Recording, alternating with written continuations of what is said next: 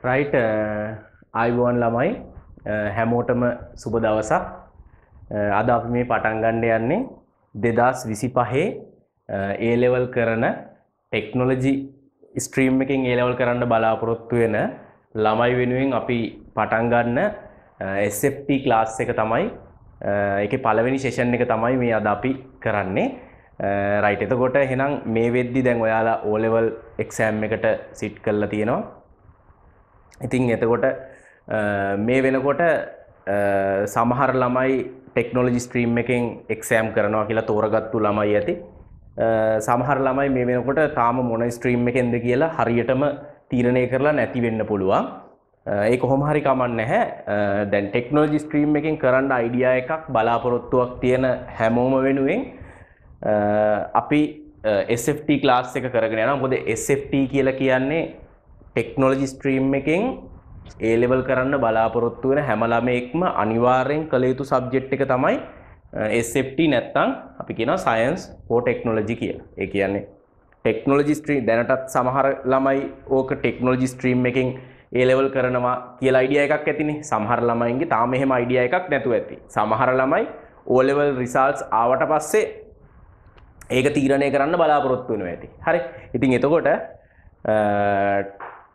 දැනට තීරණය කරපු ළමෙක්ට වුණත් නැති ළමෙක්ට වුණත් ඒ ලෙවල් මොන ස්ට්‍රීම් එකෙන් කරනවාද කියලා ඔයාට පුළුවන් අපේ SFT ක්ලාස් එකට සම්බන්ධ වෙන්න. අපි ඇත්තරම මේක O level results එනකම්ම ඔයාගේ O level results එනකම්ම අපි සම්පූර්ණයෙන් මේක ෆ්‍රී තමයි. ඒ කියන්නේ ඔයාගේ මුදල් ගන්නෙ නැතුව ෆ්‍රී ක්ලාස් එකක් විදිහට තමයි කරගෙන යන්නේ. එතකොට මං ඉස්සරහට කියල ඔයාට කියල දෙන්නම් මේ කොහොමද මේ ක්ලාස් එකේ වැඩ ටික වෙන්නේ කවදටද ක්ලාස් එක තියෙන්නේ ඔක්කොම විස්තර ඔයාට පැහැදිලි කරලා දෙන්නම්. රයිට් එතකොට එහෙනම් හරිනේ දෙදස් විසි පහේ ඒලෙවල් කරන්න බලාපොරොත්තු වෙන ටෙක්නොලජි ස්ට්‍රීම් එකෙන් ඒලෙවල් කරන්න බලාපොරොත්තු වෙන ළමයින්ගේ අනිවාර්ය සබ්ජෙක්් එක වෙන SFT ක්ලාස් එක තමයි මේ පටන් ගන්න හදන්නේ. අපි සම්පූර්ණයෙන්ම ක්ලාස් එක කරගෙන යන්නේ ඔන්ලයින් ක්ලාස් එකක් විදිහට. අපි මේක ෆිසිකල් ක්ලාස් එකක් ඇතර ම ෆිසිකල් ක්ලාසස් විදිහට කොහෙවත් කරන්නේ නැහැ. සම්පූර්ණයෙන්ම ඔන්ලයින් ක්‍රමවේදය ඔස්සේ තමයි ක්ලාස් එක මෙහෙවගෙන යන්නේ. හරි? රයිට් හරි. එතකොට හෙනම් දැන් මම කිව්වනේ මේක සම්පූර්ණයෙන්ම ඔයාගේ ඕලෙවල් රිසාල්ස් එනකම්. ඒ කියන්නේ තව ඉදිරි මාස දෙකක් හෝ ඉදිරි මාස තුනක්. හරි මාස ඉස්රහට මාස තුනක් වෙන්න පුළුවන් නැත්තං ඉස්රහට මාස හතරක් වෙන්න පුළුවන්. ඕලෙවල් රිසල්ස් එනකම්ම අපි සම්පූර්ණයෙන්ම මේක පුතේ ඔයාගේ මුදල් ගන්න ඇතුව ෆ්‍රී ක්ලාස් එකක් විදිහට තමයි කරගෙන යන්නේ. එකන ඕනම ළමයෙක්ට එකන ටෙක්නෝල්ජි ස්ට්‍රීම් එකෙන් මම ඒලෙවල් කරනවා කියලා අනිවාරෙන් සිලෙක් කරගත්තු ළමයි ඇති. ඒ ළමෙක්ට සම්බන්ධ වෙන්න පුළුවන්.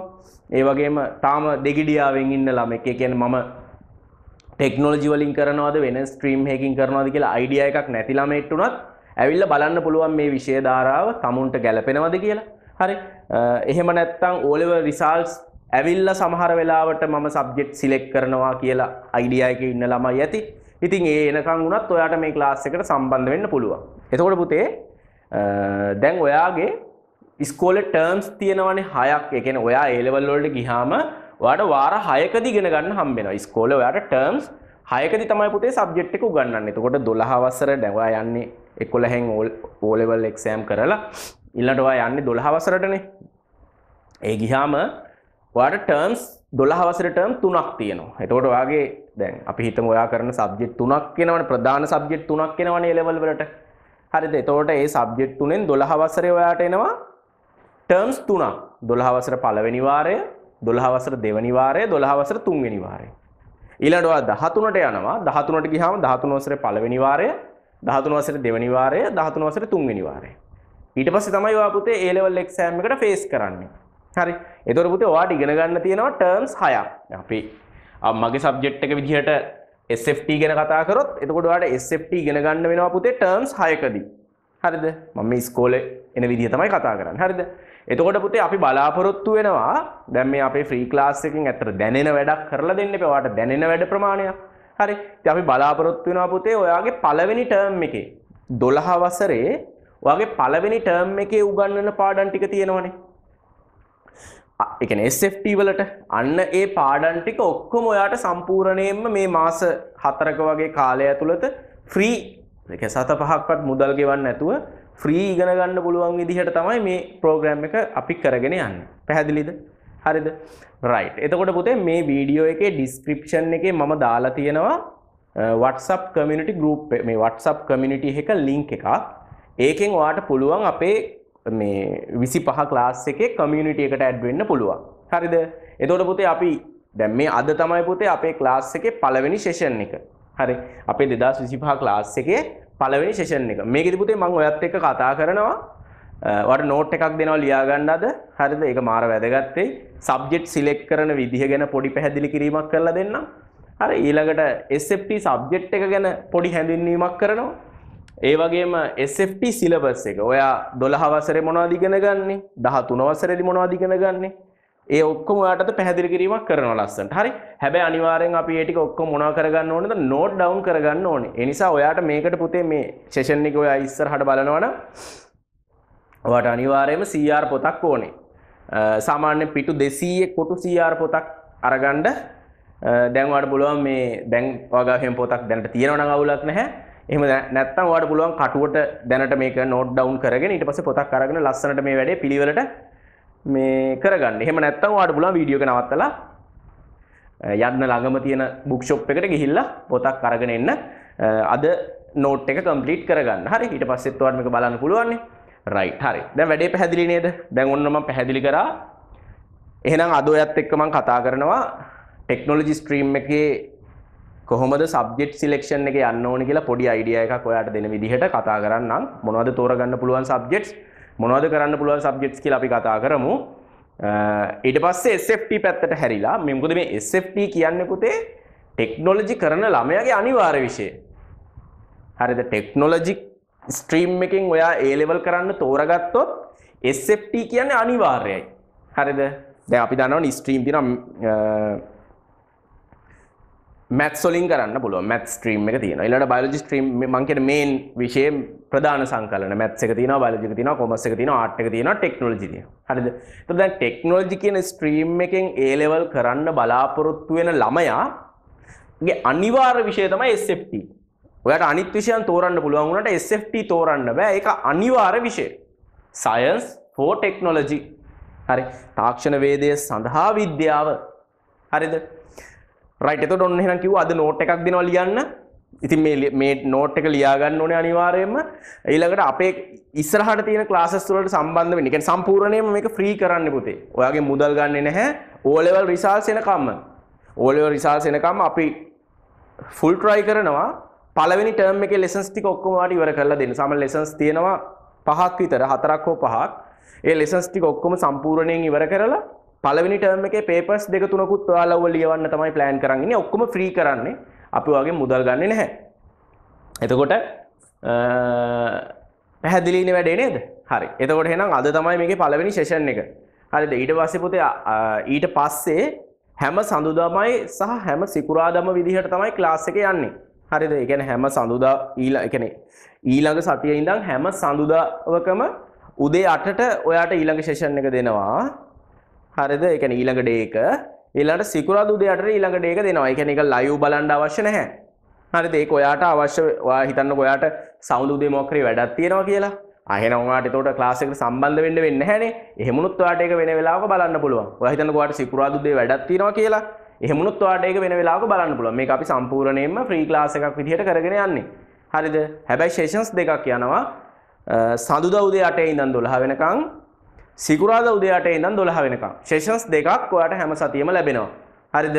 තර ඔයාගේ ඕලෙවල් ප්‍රතිඵල එනකම් අපි මේ වැඩේ මේ විදිහට කරගෙන යනවා. ඔයාගෙන් සල්ලි ගන්න නැහැ. හරිද?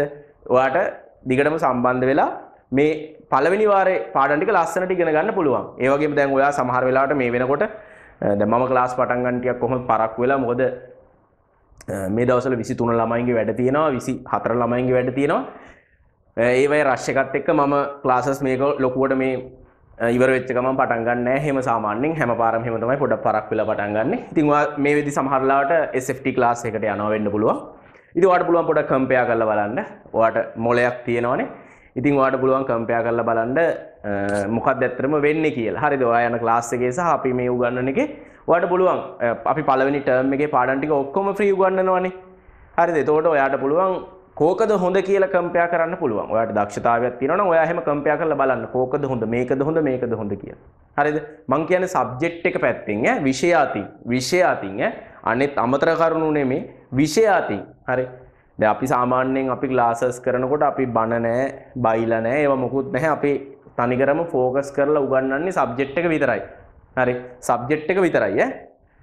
වෙන මොකුත් අමතර දේවල් මොකුත් නැහැ. හරිද? අමතර කිසිම දෙයක් නැහැ. සබ්ජෙක්ට් එක විතරයි උගන්වන්නේ. ඉතින් ඔයාට පුළුවන් ඔයා මේ වෙනකොට යන ක්ලාස් එකත් එක්ක කම්පෙයා කරලා බලන්න පුළුවන්. කිසි ගැටලුවක් නැහැ. ඔයාට තේරෙනවා නම් කොහෙද වැඩ කරන්නේ? ඔයා ඒ හොඳටම වැඩ කරන තැනට යන්න. එච්චරයි. ඒක මගේ පන්තිය වෙන්න පුළුවන්. ඒක ඔයා දැනට යන පන්තිය වෙන්න පුළුවන්. කිසි අවුලක් නැහැ. හරිද? මගේ පන්තිය වෙන්න පුළුවන්. ඔයා දැනට යන පන්තිය වෙන්නත් පුළුවන්. හොඳටම වැඩ කරන තැන. හරි. ආ ඒ හොඳටම වැඩ කරන තැනට යන්න. හරි. හොඳටම වැඩ කරන පන්තියට යන්න කිසි ගැටලුවක් නැහැ. හරි. රයිට්. එතකොට එහෙනම් ඔන්න ක්ලාස් එක ස්ටාර්ට් කරන්න යන්නේ. එහෙනම් අද තමයි පළවෙනි සෙෂන් එක. රයිට්. එහෙනම් ඔන්න පිටු 200 පොතක් අවශ්‍ය වෙනවා මේ වැඩේ අපි ඉස්සරහට. දැන් අද පිටු 200ම ලියන්නේ නැහැ. මං කොට රූල් පිටු 200ක් ගන්න කිව්වේ මොකද සිලබස් එක අපිට මුලින්ම හම්බෙන්න පුතේ මැත්ස් පාඩම. Uh, ඉතින් එතකොට අපි සිලබස් එකේ පිළිවෙලටමයි කරගෙන යන්නේ.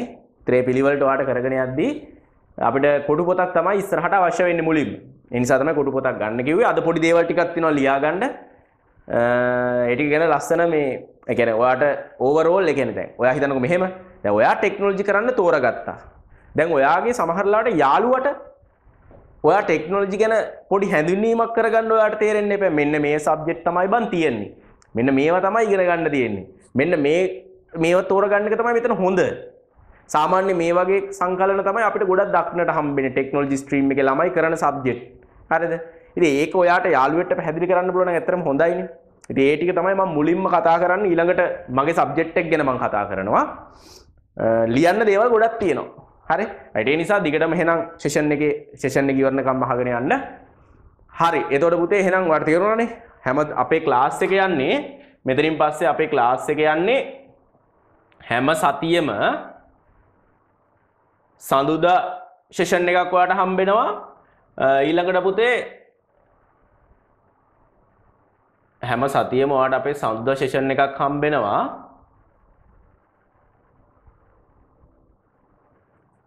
හැම සතියෙම ඔයාට හම්බෙනවා පුතේ සඳුදා. සඳුදා උදේ 8ට සෙෂන් එකක් හම්බෙනවා. සඳුදා උදේ 8ට සෙෂන් එකක් හම්බෙනවා. ඒ වගේම පුතේ සිකුරාදා සිකුරාදා උදේ 8ට සෙෂන් එකක් හම්බෙනවා. හරිද? එතකොට එක සතියකට අපි පුතේ ක්ලාසස් දෙකක් කරනවා. පැහැදිලිද? ඔන්න නෝට් ඩවුන් කරගන්න අවශ්‍ය ළමයි පොතේ පිටිපස්සේ මේක පොඩ්ඩක් ලියා ගන්න ක්ලාසස් දෙක යන ටයිම් එක. සඳුදා උදේ 8ට එක ක්ලාස් එකක් යනවා 8 to 12 ඈ. සිකුරාදා උදේ 8 to 12 තව ක්ලාස් එකක් යනවා. හරිද? රයිට්. එතකොට ඔන්න ඔය විදිහට තමයි පුතේ ක්ලාසස් දෙක යන්නේ. මේක සම්පූර්ණයෙන්ම කරන්නේ ෆ්‍රී. අපහු අපහු කියනවා සත පහක්වත් ඔයාගෙන් ගන්නෙ නැහැ. එතකොට අපි ඔයාගේ O level results එන වෙද්දී අපි පළවෙනි ටර්ම් එකේදී ඉවර කරන්න ඕන පාඩම් ටික ඔයාට ඉවර කරලා දෙනවා. ඒ කියන්නේ ඔයාගේ O level results එනකොට ඔයා 12 වසරේ පළවෙනි ටර්ම් එක ඉවරයි. මගේ සබ්ජෙක්ට් එක ගැන මම කියන්නේ. මගේ සබ්ජෙක්ට් එකේ 12 වසරේ පළවෙනි ටර්ම් එක ඉවර කරලා දෙනවා. පැහැදිලිද? රයිට් හරි. එතකොට එහෙනම් සඳුදා උදේ 8 ඉඳන් 12 වෙනකන් එක සෙෂන් එකක් ඔයාට හම්බෙනවා. සිකුරාදා උදේ 8 ඉඳන් 12 වෙනකන් ඊළඟ සෙෂන් එක ඔයාට හම්බෙනවා. එතකොට පුතේ ඔයා මතක තියාගන්න එහෙනම් ඔයාට මේ වෙලාවට පන්තියක් තියෙනවා කියන්නකෝ. සඳුදා උදේ 8 ඉඳන් 12 වෙනකන් ඔයාට ක්ලාස් එකක් තියෙනවා. ඉතින් එන්න වෙන්නේ නැහැ. අවුලක් නැහැ පුතේ. ඔයාට ඇවිල්ලා ඕන වෙලාවක ඔයා අපේ මේ කමියුනිටි එකේ ඉන්නවා නම් අපි ලින්ක් එක දාලා තියෙනවා කමියුනිටි එකේ.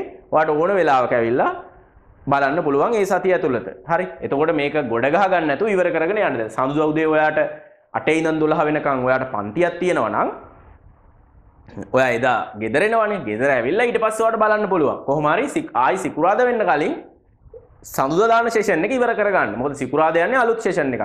දැන් ගොඩ ගහගත්තොත් මේ වැඩේ කෙරෙන්නේ නැහනේ. පැහැදිලි නේද? ඒතර පිළිවෙලට කරගෙන යන්න. හරි. පළවෙනි ටර්ම් එකේ පාඩම් ටික ඔයාගෙන් සල්ලි ගන්නේ නැතුව අපි උගන්වනවා. රයිට්. හරි. දැන් පැහැදිලි වුණා නේද? හරි. එහෙනම් පුතේ ඔන්න අද අපේ පළවෙනි සෙෂන් එක අපි ඉස්සරහට පොඩ්ඩක් කතා කරගෙන යමු අපේ මං කිව්වනේ මම මේකේ සබ්ජෙක්ට් එක ගැන ඒ ගැන පැහැදිලි කිරීමක් ඔයාලට කරනවා කියලා. ආරයිට්. මං ගැන පොඩි විස්තරයක් කරන්නම්. මගේ නම සඳුන් ප්‍රියංකර. මං කොළඹ විශ්වවිද්‍යාලයේ වෛද්‍ය පීඨයේ මගේ ඩිග්‍රී එක BSc ෆිසියෝതെරපි මම 2010 2000 අපේ කන්වොකේෂන් එක තිබේ 18 18 තමයි අවුට් උනේ. දැන් අවුටෙන් කලින් ඉඳන් මම ටෙක්නොලොජි ස්ට්‍රීම් එකේ SFT සබ්ජෙක්ට් එක ඉගෙනුවා දැන් අවුරුදු 7ක් 8ක් වගේ. හරි. 2023 2016 වගේ ඉඳන් 7ක් වගේ SFT සබ්ජෙක්ට් එක ටීච් කරනවා මේ වෙද්දි. රයිට් එතකොට එහෙනම් ඒ පොඩි මං ගැන හැඳින්වීමක් කරේ මම කවුද කියලා ඔයාලට දැනගන්න අවශ්‍ය නිසා. හරි. රයිට් එහෙනම් අපි යමු පුතේ හරි. ටෙක්නොලොජි සබ්ජෙක්ට් කොහොමද මේ සිලෙක්ට් කරන්න කියලා? හරි. මං කියවන එක මං කියලා දෙනවා කියලා. රයිට් එතකොට පුතේ මේක පොඩ්ඩක් ඔයා නෝට් ඔයාගේ පොතේ නෝට් එකක් දාගන්න ඕන. මේ විදිහට පොඩ්ඩක් වගුවක් ගහලම දාගන්න. හරි. සබ්ජෙක්ට් 1 සබ්ජෙක්ට් 2 සබ්ජෙක්ට් 3 රයිට් එතකොට එහෙනම් පොතේ පළවෙනි පිටුවේ මේක ලියන්න. මේක ඇත්තටම දැන් මේ වෙද්දි ඔයා සබ්ජෙක්ට් සිලෙක්ට් කරලා ඇති. අවුලක් නැහැ. හරිද? හැබැයි තව කවුරු හරි කෙනෙක් මේ ටෙක් කරන්න කෙනෙක්ට පොඩි අදහසක් ඔයාට දෙන්න මේක පට්ට වටිනවා. පැහැදිලිද? මේක මාර වටිනවා. කවුරු හරි ටෙක් කරන කෙනෙක්ට කියලා දෙන්න පුළුවන්. මේව තමයි තියෙන සබ්ජෙක්ට්ස් මෙහෙම තමයි බන් තෝරන්න තියෙන්නේ මේක. හරි? රයිට් එතකොට පුතේ හරි. අපි බලමු කොහොමද මේ ස්ට්‍රීම් එකේ සබ්ජෙක්ට් තෝරන්නේ කියලා. එතකොට සබ්ජෙක්ට් 1 එක වෙන්නේ පුතේ එක්ක ඉංජිනේරින් ටෙක්නොලොජි මේ මේවත් කියන්නම් මේ මෙතන මේ 65 කියලා දාලා දෙන පුතේ විෂය අංකය. හරිද? මේ ඔයාලට දැම්මම වැදගත් වෙන්නේ නැහැ. හැබැයි පුතේ ඔයාලට ඇප්ලිකේෂන් මේ A level ඇප්ලිකේෂන් දාන කාලෙක එහෙම ඔය නම්බර්ස් වැදගත් වෙනවා. මේ සබ්ජෙක්ට් වල විෂය අංකය මාර වැදගත්. මොකද ඒ විෂය අංකත් එක්ක තමයි පුරවන්න තියෙන්නේ. හරි. එතකොට මේ විෂය අංකය තමයි පුතේ දාලා දෙන්නේ. මේ ET කියලා කියන්නේ ඉංජිනේරින් ටෙක්නොලොජි. එතකොට පුතේ ඔයා සබ්ජෙක්ට් 1 එක විදිහට මේ සබ්ජෙක්ට් එකේ එකක් තමයි සිලෙක්ට් කරන්න ඕනේ. පැහැදිලිද? එක්ක ඉංජිනේරින් ටෙක්නොලොජි එහෙම නැත්නම් බයෝ සිස්ටම් ටෙක්නොලොජි BST. හරි. එතකොට මේ තමයි මේ ඇත්තම මේන් සබ්ජෙක්ට් එක. ඔය දෙකෙන් එකක් ඔයා සිලෙක්ට් කරන්න ඕනේ. ඉංජිනීරින් ටෙක්නොලොජි වලින් ඔයා A level කරනවද? ඒ කියන්නේ මම කියන්නේ මේ මෙහෙමයි. ඔයා ටෙක්නොලොජි ස්ට්‍රීම් එකක් නම් ස්ට්‍රීම් එකෙන් නම් පුතේ A level කරන්න බලාපොරොත්තු වෙන්නේ ඔයා මෙතනින් එක සබ්ජෙක්ට් එකක් සිලෙක්ට් කරන්න ඕනේ. එක්කෝ ඉංජිනීරින් ටෙක්නොලොජි නැත්නම් බයෝ සිස්ටම් ටෙක්නොලොජි. එක්කෝ ET වලින් කරනවා නැත්නම් BST වලින් කරනවා කියන එක. හරිද? රයිට්. ඊළඟ පුතේ සබ්ජෙක්ට් 2 එක තමයි සයන්ස් ෆොර් ටෙක්නොලොජි. ඒක අනිවාර්යයි. එතන තෝරන්න සබ්ජෙක්ට් නැහැ. හරි. ඔයාලට සිලෙක්ට් කරන්න සබ් වෙන සබ්ජෙක්ට් නැහැ. එකයි තියෙන්නේ. ඒක අනිවාර්යෙන් කරන්න. ඒ කියන්නේ මම උගන්වන සබ්ජෙක්ට් එක. මම ඒකනේ කිව්වේ පුතේ. ටෙක්නොලොජි ඔයා කරනවා නම් SFT අනිවාර්යයි. හරිද? ඔයාට අනිවාර්යෙන් සයන්ස් එක ඉගෙන ගන්න වෙනවා. හරි. ටෙක්නොලොජි කරන්න අවශ්‍ය සයන්ස් එක අනිවාර්යෙන් ඉගෙන ගන්න වෙනවා. හොඳට මතක තියාගන්න. හරි. ඔයා ටෙක්නෝලජි සිලෙක්ට් කරනවා නම් SFT අනිවාර්යයි. මෙතනින් මේ දෙකෙන් එකක් ඔයාට සිලෙක්ට් කරත හැකි. මේක අනිවාර්ය සබ්ජෙක්ට් එක. ඊළඟට පුතේ සබ්ජෙක්ට් 3 එක තියෙනවා. එතන පුතේ ඒක අපි බකට් සබ්ජෙක්ට් එක කියලා කියන්නේ. ඇත්තටම සබ්ජෙක්ට් 10ක් 11ක් තියෙනවා. ඒකෙන් ඔයාට එකක් සිලෙක්ට් කරගන්න පුළුවන්. පැහැදිලිද වැඩේ? රයිට්. එතකොට බලන්න සබ්ජෙක්ට් තුන විදිහට මොනවද තියෙන්නේ? ICT. ගොඩක් ළමයි කරන සබ්ජෙක්ට් එක. හරි. ICT තියෙනවා. ඊළඟ පොතේ ඇග්‍රිකල්චරල් සයන්ස් තියෙනවා. ජියෝග්‍රෆි තියෙනවා, මැතමැටික්ස් තියෙනවා. මේ මැතමැටික්ස් කියන්නේ පුතේ කම්බයින් මැත්ස් නෙමෙයි. අර මැත්ස් කරන ළමයින්ගේ සබ්ජෙක්ට් එක කම්බයින් මැත්ස් නෙමෙයි. මැතමැටික්ස් කියලා වෙනම සබ්ජෙක්ට් එකක් තියෙනවා. ඊළඟට ආර්ට් අවශ්‍ය නම් දාන්න පුළුවන්. හරිද? ඊළඟට මීඩියා දාන්න පුළුවන්. ඉකෝන් තියෙනවා. BS තියෙනවා බිස්නස් ස්ටඩීස්. හරි. accounting අවශ්‍ය නම් පුළුවන්. ඒ කියන ඔකෙන් එකක් තෝරන්න ඕනේ. ඉංග්ලිෂ් හෝම ඉකොනොමික්ස් හරි මේ සබ්ජෙක්ට් මේ විදිහට 10ක් ඕ මෙතන කීයක් තියෙනවද 1යි 2යි 3යි 4යි 5යි 6යි 7යි 8යි 9යි 10යි 11ක් තියෙනවා. හරි මේ 11න් ඔයාලට ඕන සබ්ජෙක්ට් එකක් සිලෙක්ට් කරන්න පුළුවන්. ඉතින් ඔයා ටෙක් කරන්න බලාපොරොත්තු වෙන ඉස්කෝලේ මේ සබ්ජෙක්ට්ස් තියෙන්න ඕන සිලෙක්ට් කරන්න. සාමාන්‍යයෙන් ඉතින් ICT ඊළඟට ඇග්‍රි ජියෝග්‍රෆි මැත්ස් මේ සබ්ජෙක්ට් මෙන්න මේ බකට් එකෙන් ඔයාට ඕන සබ්ජෙක්ට් එකක් සිලෙක්ට් කරන්න පුළුවන්. හරිද? ඒතර ඒ තර්ඩ් සබ්ජෙක්ට් එක. රයිට්. මේක පොඩ්ඩක් නෝට් ඩවුන් කරගමු පුතේ. සබ්ජෙක්ට් 1 එක මේ මේ විදිහටම ටේබල් එක මේ වගුවක් විදිහටම දාගන්න සබ්ජෙක්ට් 1 එක ඒක ඉන්ජිනියරින් ටෙක්නොලොජි තියෙනවා බා දැන් ඔයා මේ විදිහ සිලෙක්ට් කරලා ඇති හරි ඔයා සිලෙක්ට් කරලා ඇති මං ET කරනවා SFT කොහොමද අනිවාර්යයිනේ එනට මෙතරින් ICT සිලෙක්ට් කරලා තියෙනවා කියමුකෝ හරි කවුලක් නැහැ එතකොට මේක පොඩ්ඩක් ලියා ගන්න මේක පොඩ්ඩක් දැනගෙන ඉන්න එක හොඳයි ඔයාට හරිද? කවුරු හරි ඇහුවාම අඩුම තරමේ ඔයාලට මේක පැහැදිලි කරලා දෙන්න පුළුවන් නැතුව මේ මම කරන්නේ බං ET SFT ICT මන් දන්නේ නැහැ බං. තාම මොනවද තියෙනවද? කියලා මේ එහෙම එහෙම නැතුව ඔයාට පුළුවන්. ඔයාගේ යාළුවට කියන්න බං මෙතන තියෙනවා සබ්ජෙක්ට් 11ක් ඕකෙන් ඕන සබ්ජෙක්ට් එකක් අපිට A level වලට කරන්න පුළුවන් ටෙක් කරනවනම් හරිද? ඒ වගේම මෙතන තියෙන සබ්ජෙක්ට් දෙකක් මේකෙන් තෝරගන්න ඕනේ. එතකොට ඉන්ජිනියරින් ටෙක්නොලොජි වලින් යනවද? බයෝසිස්ටම් ටෙක්නොලොජි වලින් යනවද කියලා මෙතනින් සිලෙක්ට් වෙනවා.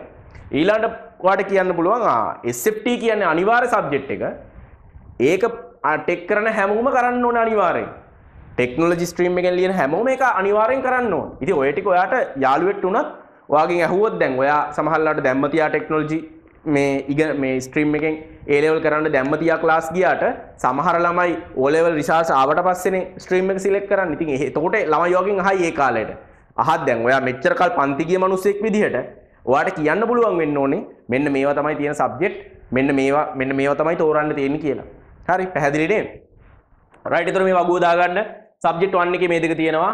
ඉංජිනේරින් ටෙක්නොලොජි ET විෂය අංකය 65 බයෝසිස්ටම් ටෙක්නොලොජි තියෙනවා BST විෂය අංකය 66 ඊළඟට SFT තියෙනවා විෂය අංකය 67 science for technology ඊළඟට මෙතන තියෙනවා පුතේ ICT විෂය අංකය 20 agri විෂය අංකය 8 geo තියෙනවා විෂය අංකය 22 මේ mathematics තියෙනවා විෂය අංකය 7 combined maths නෙමේ. හරි.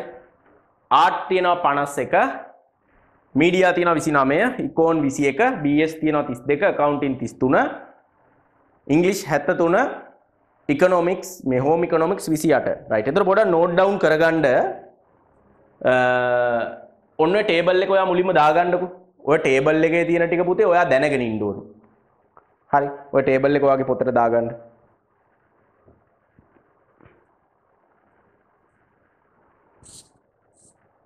විනාඩියක් දෙන්නම්. නෝට් කරගන්නකෝ.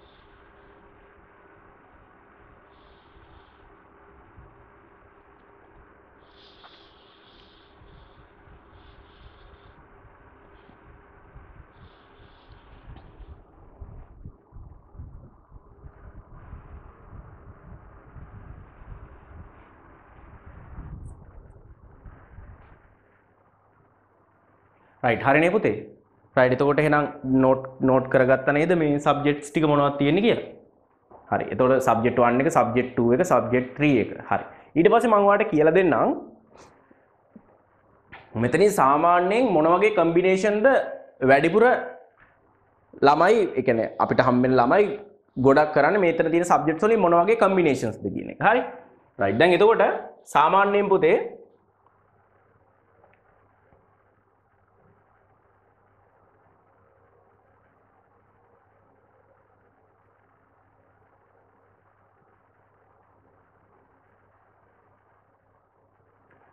මෙතන දැන් මෙතනින් ඉංජිනියරිං ටෙක්නොලොජි සිලෙක්ට් කරලා මෙන්න මේ කම්බිනේෂන් එක තමයි අපිට ගොඩක් වෙලාවට හම්බෙන්නේ. මේකෙන් SFT ඒත් එක්ක මෙතනින් ICT. හරි. රයිට්. ඒතර මේ කම්බිනේෂන් එක තමයි අපිට ගොඩක් වෙලාවට ටෙක්නොලොජි වල හම්බෙන කම්බිනේෂන් එක. ඊළඟට තව අපිට හම්බෙනවා පුතේ දැන් මෙහෙම මේව කරන්නේ නැහැ කියලා කියනව නෙමෙයි. ET SFT ICT ළමයි ඇත්තටම වැඩි ප්‍රමාණයක් ඉන්නවා. දැන් හේතුව එහෙම කරාම ඔයාට මේ මේ BET කියන ඩිග්‍රී එකට වගේම BICT කියලා දැන් මේ ICT කරලා නැතුව එයාට ICT BICT කියන ඩිග්‍රී එකට කැම්පස් එකේ ඇප්ලයි කරන්න බැරි වෙනවා පුතේ. හරිද? ICT කරන්නේ නැතුව. ඒ නිසා ගොඩක් ළමයි ICT කරනවා. හරිද? රයිට්. ඊළඟට පුතේ මෙතන අපිට තව හම්බෙන කම්බිනේෂන් එකක් තමයි ET SFTත් එක්ක ඇග්‍රි කරන ළමයි නැද්ද? නෑ ඉන්නවා. හැබැයි බහුතරයක් නෙමේ. සමහරලා ICT වලට එච්චර ඉන්ට්‍රස්ට් එකක් නැති ළමයි ICT කියන සබ්ජෙක්ට් එකට ආස නැති ළමයි ඉන්නවනේ. එයාලා පුතේ සමහර වෙලාවලදී මට හම්බෙලා තියෙනවා මයි ක්ලාස් එකෙත් ඉන්නවා එහෙම ළමයි. ET SFT මෙතනින් ඇග්‍රි තෝරලා කරන ළමයිනුත් ඉන්නවා. මහා ගොඩක් නෙමේ පොඩි ප්‍රමාණයක්. හරිද? ICT වලට එච්චර ඉන්ට්‍රස්ට් එකක් නැති ළමයි. එතකොට එහෙම ඇග්‍රි තෝරලා ඔයා ලිව්වහම ඔයාට පුතේ BICT කියන ඩිග්‍රී එකට ඇප්ලයි කරන්න බැරි වෙනවා. ඔය ICT කරලා නැති හින්දා. හරිද? එතකොට BET කියන ඩිග්‍රී එකට තමයි යාලට මම මේ ප්‍රධාන වශයෙන් ඒව කතා කරන්නේ ඇප්ලයි කරන්න පුළුවන් වෙන්නේ. රයිට්. එතකොට සමහරලාට මට හම්බ වෙනවා ETත් එක්ක SFT ජියෝ කරන ළමයි හම්බ වෙනවා. ජියෝග්‍රැෆි. තුන්වෙනි සබ්ජෙක්ට් එක වෙනකොට ICT කරන්නේ නැතුව ජියෝග්‍රැෆි කරන ළමයි හම්බ වෙනවා. හරි? ජියෝග්‍රෆි කරන ළමයි හම්බෙනවා. එතකොට ET SFT ජියෝ හරි කරන ළමයි අපිට හම්බෙනවා. ඊළඟට මයි ක්ලාස් එකෙත් ඉන්න එහෙම ළමයි. මයි ක්ලාස් එකේ එහෙම ඒ කියන්නේ ජියෝ කරලා කැම්පස් ගියපු ළමයි ඉතින් ඒතර එයාලටත් BICT කියන ඩිග්‍රී ප්‍රෝග්‍රෑම් එකට ඇප්ලයි කරන්න බැරි වෙනවා. මොකද එයා ICT කරලා නැති හින්දා BET කියන ඩිග්‍රී ප්‍රෝග්‍රෑම් එකට ඇප්ලයි කරන්න පුළුවන් වෙනවා. හරිද? රයිට් ඊළඟ මට හම්බෙලා තියෙනවා ETත් එක්ක SFTත් එක්ක මැත්ස් කරන ළමයි මැතමැටික්ස් කියන සබ්ජෙක්ට් එක 7 විෂය අංකය 7 ඕක කරන ළමයි මට හම්බෙලා තියෙනවා. හරිද? මැතමැටික්ස් කරන ළමයි මට හම්බෙලා තියෙනවා. රයිට් හරි. එතකොට ප්‍රධාන වශයෙන් හම්බෙන්නේ ET SFT ICT කියන විෂය සංකලනය. ඇග්‍රී ජියෝ මැත්ස් කරන ළමයිනුත් ඔය අතර හම්බෙලා ඉකෝ මට එකපාරක් මොකද ඉකෝන් කරන ළමයිකුත් හම්බුණාද මන්ද? ඕම හම්බෙනවා මේ අනිත් සබ්ජෙක්ට් එකකුත් දාලා කරන ළමයි හම්බෙනවා. හරිද? හැබැයි ICT කරන්න නැතුව මේ සබ්ජෙක්ට් කරාම ඔයාට BICT කියන ඩිග්‍රී එකට ඇප්ලයි කරන්න බැරි වෙනවා. හරිද? මොකද ඒකේ අනිවාර්ය රික්වයර්මන්ට් එකක් විදිහට ICT විෂය කරපු ළමයි තමයි ඒගොල්ලෝ බලාපොරොත්තු වෙන්නේ. හරි. රයිට්. ඒතර මේ ප්‍රධාන විෂය සංකලනය අපිට හම්බ වෙනවා ETSFT ICT ඊට අමතරව ETSFT Agri හම්බ වෙනවා ICT වලට එච්චර ඉන්ට්‍රස්ට් එකක් නැති ළමයි. ඊළඟට ETSFT Geo කරන ළමයි හම්බ වෙනවා ETSFT Maths කරන ළමයි හම්බ වෙනවා මෙතන ඒ කියන්නේ මේ තුන්වෙනි කාණ්ඩේ ඕන එකක් කරන්න පුළුවන්. හරිද? ඊළඟට අපිට හම්බ වෙන ප්‍රධාන ආකාර දෙකක් තමයි BSTත් එක්ක SFT ඉතින් අනිවාර්යයි. ඉතින් ඒක මට මම කරන සබ්ජෙක්ට් එක අනිවාර්යයි පුතේ. තුන්වෙනි සබ්ජෙක්ට් එක විදිහට ICT කරනවා පිරිසක්. තුන්වෙනි සබ්ජෙක්ට් එක විදිහට ඇග්‍රි කරනවා පිරිසක්. මේ දෙකත් ගොඩක් කොමන් හරි. ගොඩක් සුලබෝ හම්බෙන ආකාර දෙක ගොඩක් කෝමන් අපිට. BST SFT ICT BST SFT agri හරි ඒ දෙකත් ගොඩක් සුලබයි පැහැදිලිද? ඒ ඔන්න ඔය විදිහට තමයි ගොඩක් වෙලාට ඔය විෂය සංකලන ටික අපිට ටෙක්නොලොජි වල හම්බෙන්නේ. දැන් පොඩි ප්‍රවණතාවයක් තියෙනවා මැත්ස් මැතමැටික්ස් කියන සබ්ජෙක්ට් එකත් සැලකුණු ළමයි ප්‍රමාණයක් කරනවා. හරි ජියෝග්‍රෆිත් කරන ළමයි ඉන්නවා ඇග්‍රිත් කරන ළමයි ඉන්නවා. ඉතින් හරි ওই විදිහට තමයි මේකේ පුතේ සබ්ජෙක්ට් දැන් හිතන්න BST SFT ඇග්‍රි කරා කියලා එතකොට එයාට BICT කියන ඩිග්‍රී ප්‍රෝග්‍රෑම් එකට ඇප්ලයි කරන්න බෑ. එයාට BBST කියන ඩිග්‍රී ප්‍රෝග්‍රෑම් එකට තමයි ඇප්ලයි කරන්න පුළුවන් වෙන්නේ. හරි.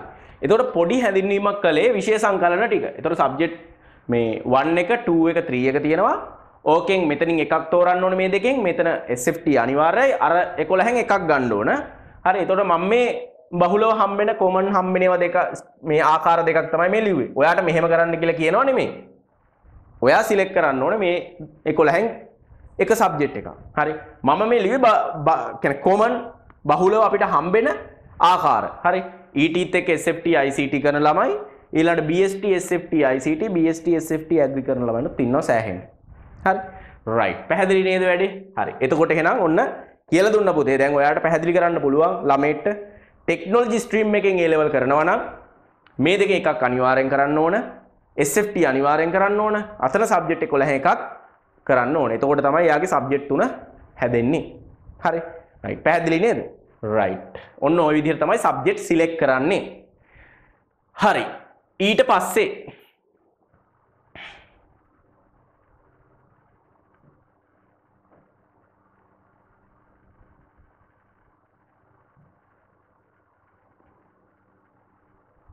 හරි. අපි බලමු පුතේ මොකද්ද මේ SFT කියන්නේ කියලා. SFT කියන්නේ මොකක්ද? දැන් ඔයා මං කිව්වනේ දැන් ටෙක්නොලොජි ස්ට්‍රීම් එකෙන් ඔයා විභාග ලියන්න බලාපොරොත්තු වෙනවා නම් ඔයාගේ අනිවාර්ය සබ්ජෙක්ට් එක තමයි පුතේ මොකද්ද? SFT කියලා කියන්නේ. හරිද? SFT. මොකද්ද මේ SFT කියන්නේ? Science for Technology.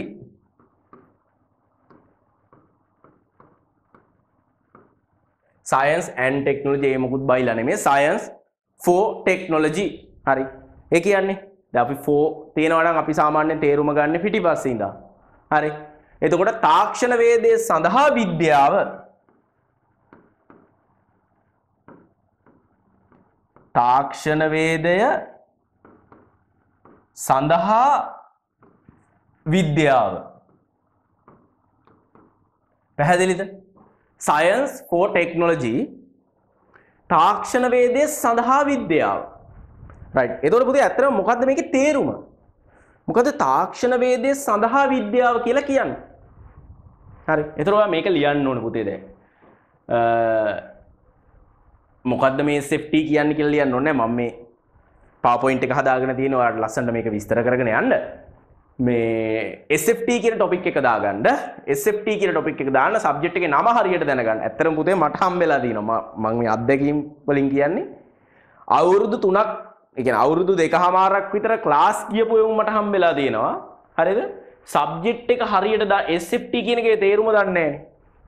ඉංග්‍රීසි වලින් කියයි සිංහලෙන් කියන්න දන්නේ නැහැ සමහර ලාවට. හරිද? SFT කියන සයන්ස් ෆෝ ටෙක්නොලොජි කියලාවත් දන්නේ නැති උන් ඉන්නවා අවුරුදු දෙකමාරක් ඉගෙන ගත්තේ උන්. ඒවා හිතන්නකො පන්ති ගිහිල්ලා මොනවද මේ මිනිස්සු කරලා තියෙන්නේ මෙච්චර කල් හරි. එහෙම ළමයි හම්බෙනව හරි. ඕක ඇහුවොත් එහෙම මොකද්ද මේ SFT කියන එකේ තේරුම කියලා දන්නේ නැහැ බහුතරයක් දන්නේ නැහැ හරි. ඔහේ නිකන් පන්ති යනවට යනවා. එච්චරයි. ඉස්කෝලේ යනවට යනවා. ඉගෙන ගන්න සබ්ජෙක්ට් එකේ තේරුමවත් හරියට දන්නේ නැහැ හරි. රයිට් SFT කියලා ටොපික් එකක් දාගන්න සයන්ස් ෆෝ ටෙක්නොලොජි කියලා ලියාගන්න තාක්ෂණ වේදය සඳහා විද්‍යාව කියලා ලියාගන්න. හරි. තාක්ෂණ වේදය සඳහා විද්‍යාව කියලා ලියාගන්න.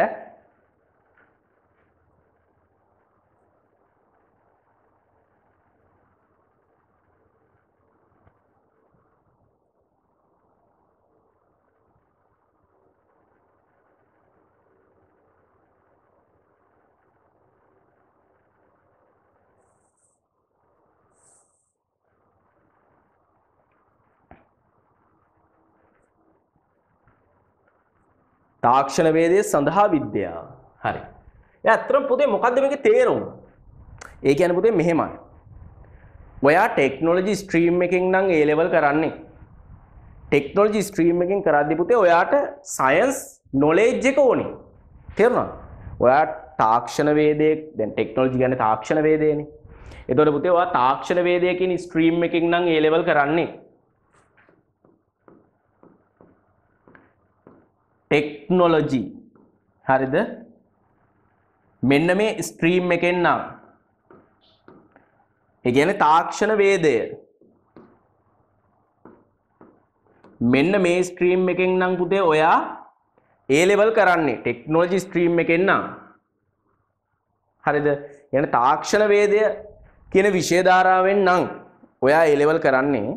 තාක්ෂණ වේදයේ විෂයන් ඉගෙනගෙන යද්දී ඔයාට අවශ්‍ය වෙනවා මොන දැනුමද? තාක්ෂණ වේදයේ විෂයන් ඉගෙනගෙන යද්දී පුතේ ඔයාට අවශ්‍ය වෙනවා විද්‍යා දැනුම හරිද? විද්‍යා සංකල්ප ඔයාට අවශ්‍ය වෙනවා. හරිද? සමා ඒ කියන්නේ තාක්ෂණ වේදී දැන් ඔයා හිතන්නකෝ ඔයා ET ඉංජිනේරින් ටෙක්නොලොජි වලින් ඉගෙන ගන්නවා වෙන්න පුළුවන්. ඔයා බයෝ සිස්ටම් ටෙක්නොලොජි වලින් ඉගෙන ගන්නවා වෙන්න පුළුවන්. ඒ මොන ස්ට්‍රීම් එකෙන් ඔයා ඉගෙන ගත්තත් ඔයාට ඉස්සරහට ඉගෙන ගන්නකොට ඒ කියන්නේ ඒ සබ්ජෙක්ට් ඉගෙන ගන්නකොට ඔයාට අවශ්‍ය වෙනවා විද්‍යා සංකල්ප. විද්‍යා සංකල්ප අවශ්‍ය වෙනවා. හරි. ඉතින් අන්න ඒ කන්සෙප්ට් සයන්ස් කන්සෙප්ට් උගන්වන්න තමයි පුතේ මේ SFT කියන සබ්ජෙක්ට් එක මේක ඇතුළට දාලා තියෙන්නේ. හරිද ඇත්තටම මේකේ සයන්ස් තමයි අපිට ඉගෙන ගන්න තියෙන්නේ. හරි. ඒ කියන්නේ ඔයාට මේ තාක්ෂණ වේදේ ඉගෙනගෙන යද්දි අවශ්‍ය වෙන විද්‍යා සංකල්ප ඉගෙන ගන්න තමයි පුතේ මේ SFT කියන සබ්ජෙක්ට් එක තියෙන්නේ. නැතුව මේ SFT කියන සබ්ජෙක්ට් එක. ඇත්තටම අර්ථය දැනගන්න එපා. මොක මොකටද මේ SFT තියෙන්නේ? ටෙක්නොලොජි ස්ට්‍රීම් එක ඇතුළේ. මොකද ඒක හැමෝම අනිවාර්යෙන් කරන්න ඕනේනේ. ටෙක්නොලොජි කරන ළමයි හැමෝම අනිවාර්යෙන් කරන්න ඕනේ. ඇයි මේක අනිවාර්යෙන් කරන්න ඕනේ? පුතේ ඔයාට අනිත් සබ්ජෙක්ට් ඉගෙන ගන්නකොට අවශ්‍ය වෙන විද්‍යා දැනුම තමයි අපි මේ SFT කියන සබ්ජෙක්ට් එකෙන් ඔයාලට උගන්වන්නේ. ඒක තමයි මේකේ තේරුම. තාක්ෂණ වේදයේ සඳහා විද්‍යාව. තාක්ෂණ වේදයේ ඉගෙන ගන්න ළමයෙකුට අවශ්‍ය විද්‍යාව සංකල්ප ටික. සරලව කිව්වොත් එහෙම. තාක්ෂණ වේදයේ ඉගෙන ගන්න ළමයෙක්ට අවශ්‍ය විද්‍යාව සංකල්ප ටික තමයි පුතේ අපි මෙතනදී උගන්වන්නේ. හරි. ඒතර තාක්ෂණ වේදය හදාරන හැමෝම මේ සබ්ජෙක්ට් එක අනිවාර්යෙන් කරන්න ඕනේ. දැන් පැහැදිලි නේද? හරි. තාක්ෂණ වේදය හදාරන හැමෝම මේ සබ්ජෙක්ට් එක කරන්න ඕනේ. මොකද තාක්ෂණ වේදය හදාරන හැමෝටම විද්‍යා දැනුම අවශ්‍යයි. තාක්ෂණ වේදය ඉගෙන ගන්න හැමෝටම විද්‍යා දැනුම අවශ්‍යයි. ඉතින් ඒතොර අනිවාර්යෙන් එයාට මේ නොලෙජ් එක ඕන. මේ සයන්ස් නොලෙජ් එක ඕන. එයාට අනිත් සබ්ජෙක්ට් හදාරනකොට. ඉතින් ඒක තමයි මේ සබ්ජෙක්ට් එක මේ ස්ට්‍රීම් එක ඇතුළට අනිවාර්ය සබ්ජෙක්ට් එක විදිහට දාලා තියෙන්නේ.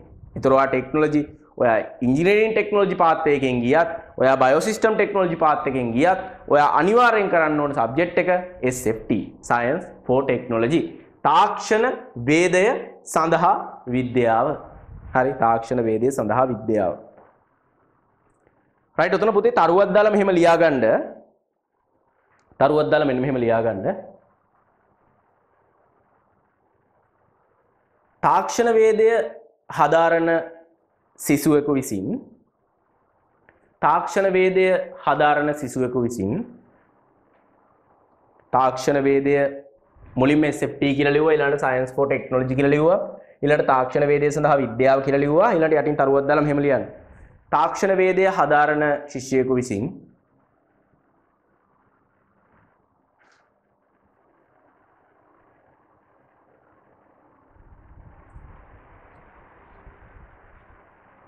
ඉගෙන ගත යුතු අනිවාර්ය විෂය SFT වේ. තාක්ෂණ වේදය හදාරන සිසුවෙකු විසින් ඉගෙන ගත යුතු අනිවාර්ය විෂය SFT වේ.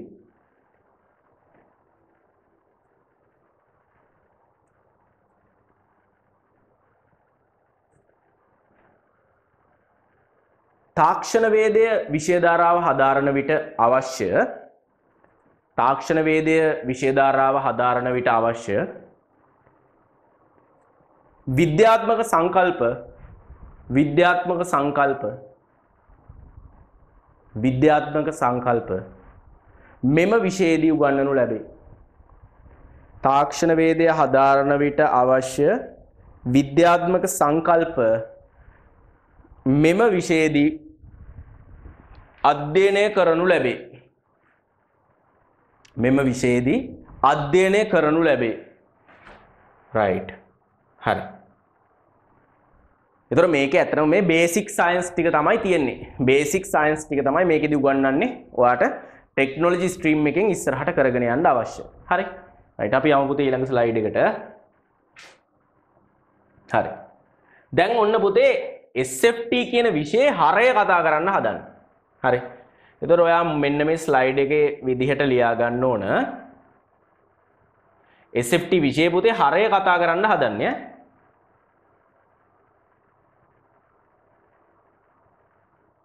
රයිට් මුලින්ම ලියාගන්න SFT සිලබස් එක. ඔයාට දොළහ වසරේ දහතුන වසරේ ඉගෙන ගන්න තින පුතේ පාඩම් විසි පහක් 25 lessons තියෙනවා. හරි? දොළහ වසරේ දහතුන වසරේ මේ දෙකේම ඈ. දොළහ වසරේ දහතුන වසරේ මේ දෙකේදීම ඔයාට ඉගෙන ගන්න තියෙනවා පුතේ SFT වල පාඩම් කීයක්ද? SFT වල පාඩම් 25ක් ආ රයිට් මෙහෙම ලියා ගන්නකො SFT සිලබස් ඊළඟ අනුමාතෘකාව SFT සිලබස් එක. නැත්නම් SFT විෂය නිර්දේශය SFT විෂය නිර්දේශය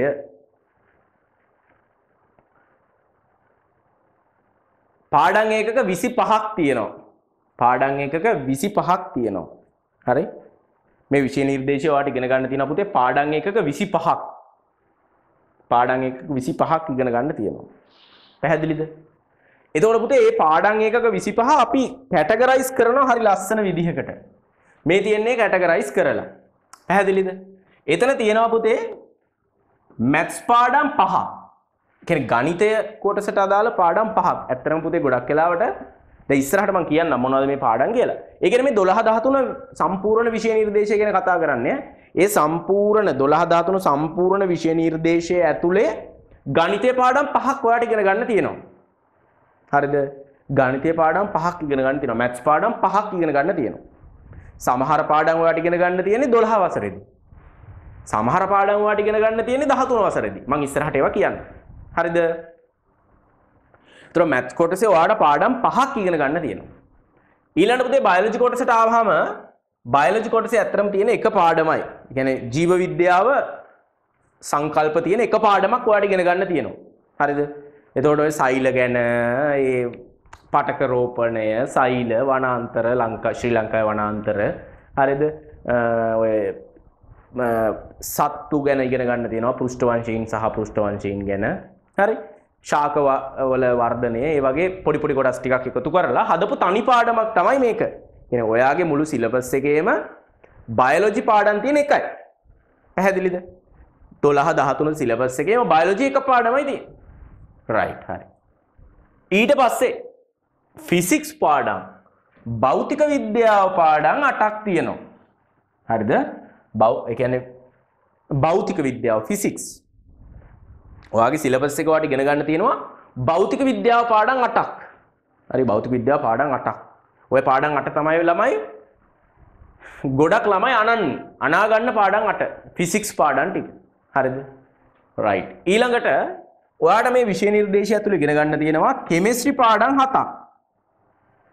රසායන විද්‍යාව. රසායන විද්‍යාව පාඩම් 7ක් ඉගෙන ගන්න තියෙනවා. ඊළඟ පුතේ බේසික් IT පාඩම් හතරක් ඉගෙන ගන්න තියෙනවා. රයිට්.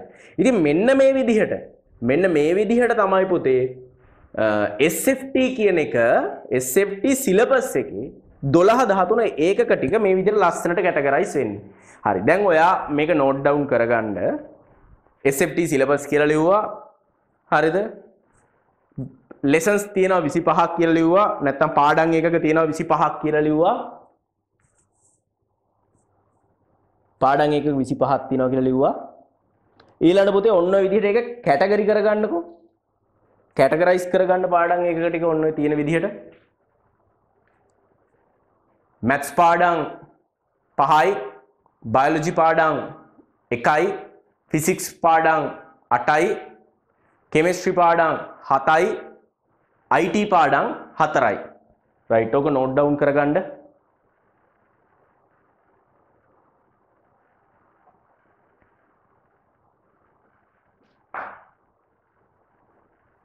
මං කිව්වනේ අද ලියාගන්න කොටස් ටිකක් තියෙනවා ඒ ටික ලියාගන්න ඕනේ සබ්ජෙක්ට් එක අද අපි පළවෙනි පාඩම අද පටන් ගන්නෙ නැහැ හැබැයි ලියාගන්න ඕන දේවල් ටික ලියාගන්න ඕනේ මොකද මේක පුතේ හරියට ඉගෙන ගන්න සබ්ජෙක්ට් එක මොකක්ද කියලා දැනගෙන ඉගෙන ගන්න ඕනේ. පැහැදිලිද? ඔහේ යන්නේ කොහෙද මල්ලේ පොල් වගේ?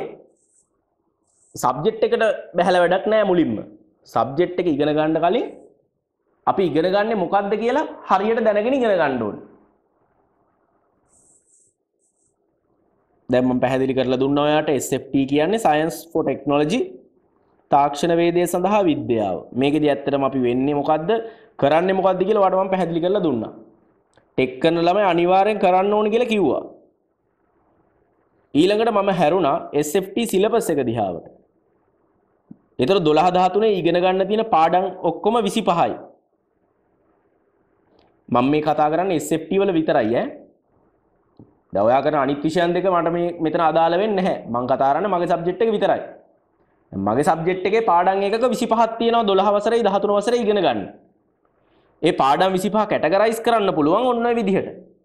මැත්ස් පාඩම් 5යි, බයෝ පාඩම් 1යි, ෆිසික්ස් පාඩම් 8යි, කෙමිස්ට්‍රි 7යි, IT බේසික් IT පාඩම් 4ක් තියෙනවා. ගණිතය පාඩම් 5යි, බයෝ පාඩම් 1යි, ජීව විද්‍යාවනේ ෆිසික්ස් භෞතික විද්‍යාව කෙමිස්ට්‍රී රසායන විද්‍යාව IT පාඩම් හතරකුත් තියෙනවා මේ තොරතුරු තාක්ෂණය. හරි? රයිට්. හරි නේද? අපි යමු පුතේ ඊළඟ ස්ලයිඩ් එකට. හරිනේ. එතකොට මේක නෝට් ඩවුන් කරගත්තා නේද? SFT සිලබස් එකේ පාඩම් එකක 25යි. 12 වසර 13 වසර දෙකේම. ඒ 25 බෙදනවා මෙන්න මේ විදිහට. බලන්න මෙතන එකතු 25යිද කියලා. 5 1යි 6යි 8යි 6යි 14යි 14යි 7යි 21යි 4යි 25යි. හරිනේ? රයිට්. ඊට පස්සේ හරි. ඔන්න පුතේ අර මැත්ස් පාඩම් පහක් ඉගෙන ගන්න තියෙනවා කිව්වනේ. මෙන්න තියෙනවා පුතේ ඔයාලට ඉගෙන ගන්න තියෙන මැත්ස් පාඩම් ටික. දැන් කවුරු දැන් ඔයා ඔයාලට කියලා දෙන්න පුළුවන් එතකොට තව කෙනෙක්ට ආ SFT වල තියෙන මේ පාඩම් ටික. මේ පාඩම් ටිකේ ඒ කියන්නේ මැත්ස් පාඩම් පහක් තියෙනවා කිව්වනේ අපි ඉස්සෙල්ලා උඩ ලිව්වේ මැත්ස් පාඩම් පහයි සිලබස් එකේ. ආ දැන් ඔන්න තියෙනවා පුතේ මෙතන මැත්ස් පාඩම් පහ. හරි දැන් ඔයා ඔක ලියා ගන්න ඕන. හරි මොනවද මැත්ස් පාඩම් පහ? වර්ගඵලය හා පරිමාව තියෙනවා. ත්‍රිකෝණමිතිය තියෙනවා. පයිතගරස් සම්බන්ධය තියෙනවා. කණ්ඩාංක ජාමිතිය තියෙනවා. සංඛ්‍යානය තියෙනවා. රයිට්? හරි. ඔයක ලියා ගන්නකො මම පොඩි පැහැදිලි කිරීමක් ඔයාලට කරන්නම්. ඔන්න පාඩම් පහ තමයි පුතේ මැත්ස් කොටසේ අපිට ඉගෙන ගන්න තියෙන පාඩම් පහ.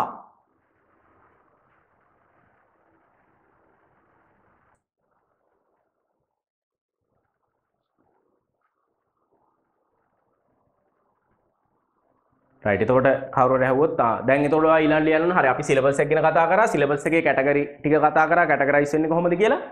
ඊළඟට මම ඔයාලට කිව්වා ආ එහෙනම් මැත්ස් පාඩම් තියෙනවා කොනේ පහක් ආ මෙන්න තියෙනවා පුතේ මැත්ස් පාඩම් පහ. මේ මේ පාඩම් පහ තමයි තියෙන්නේ මැත්ස් වල. හරිද?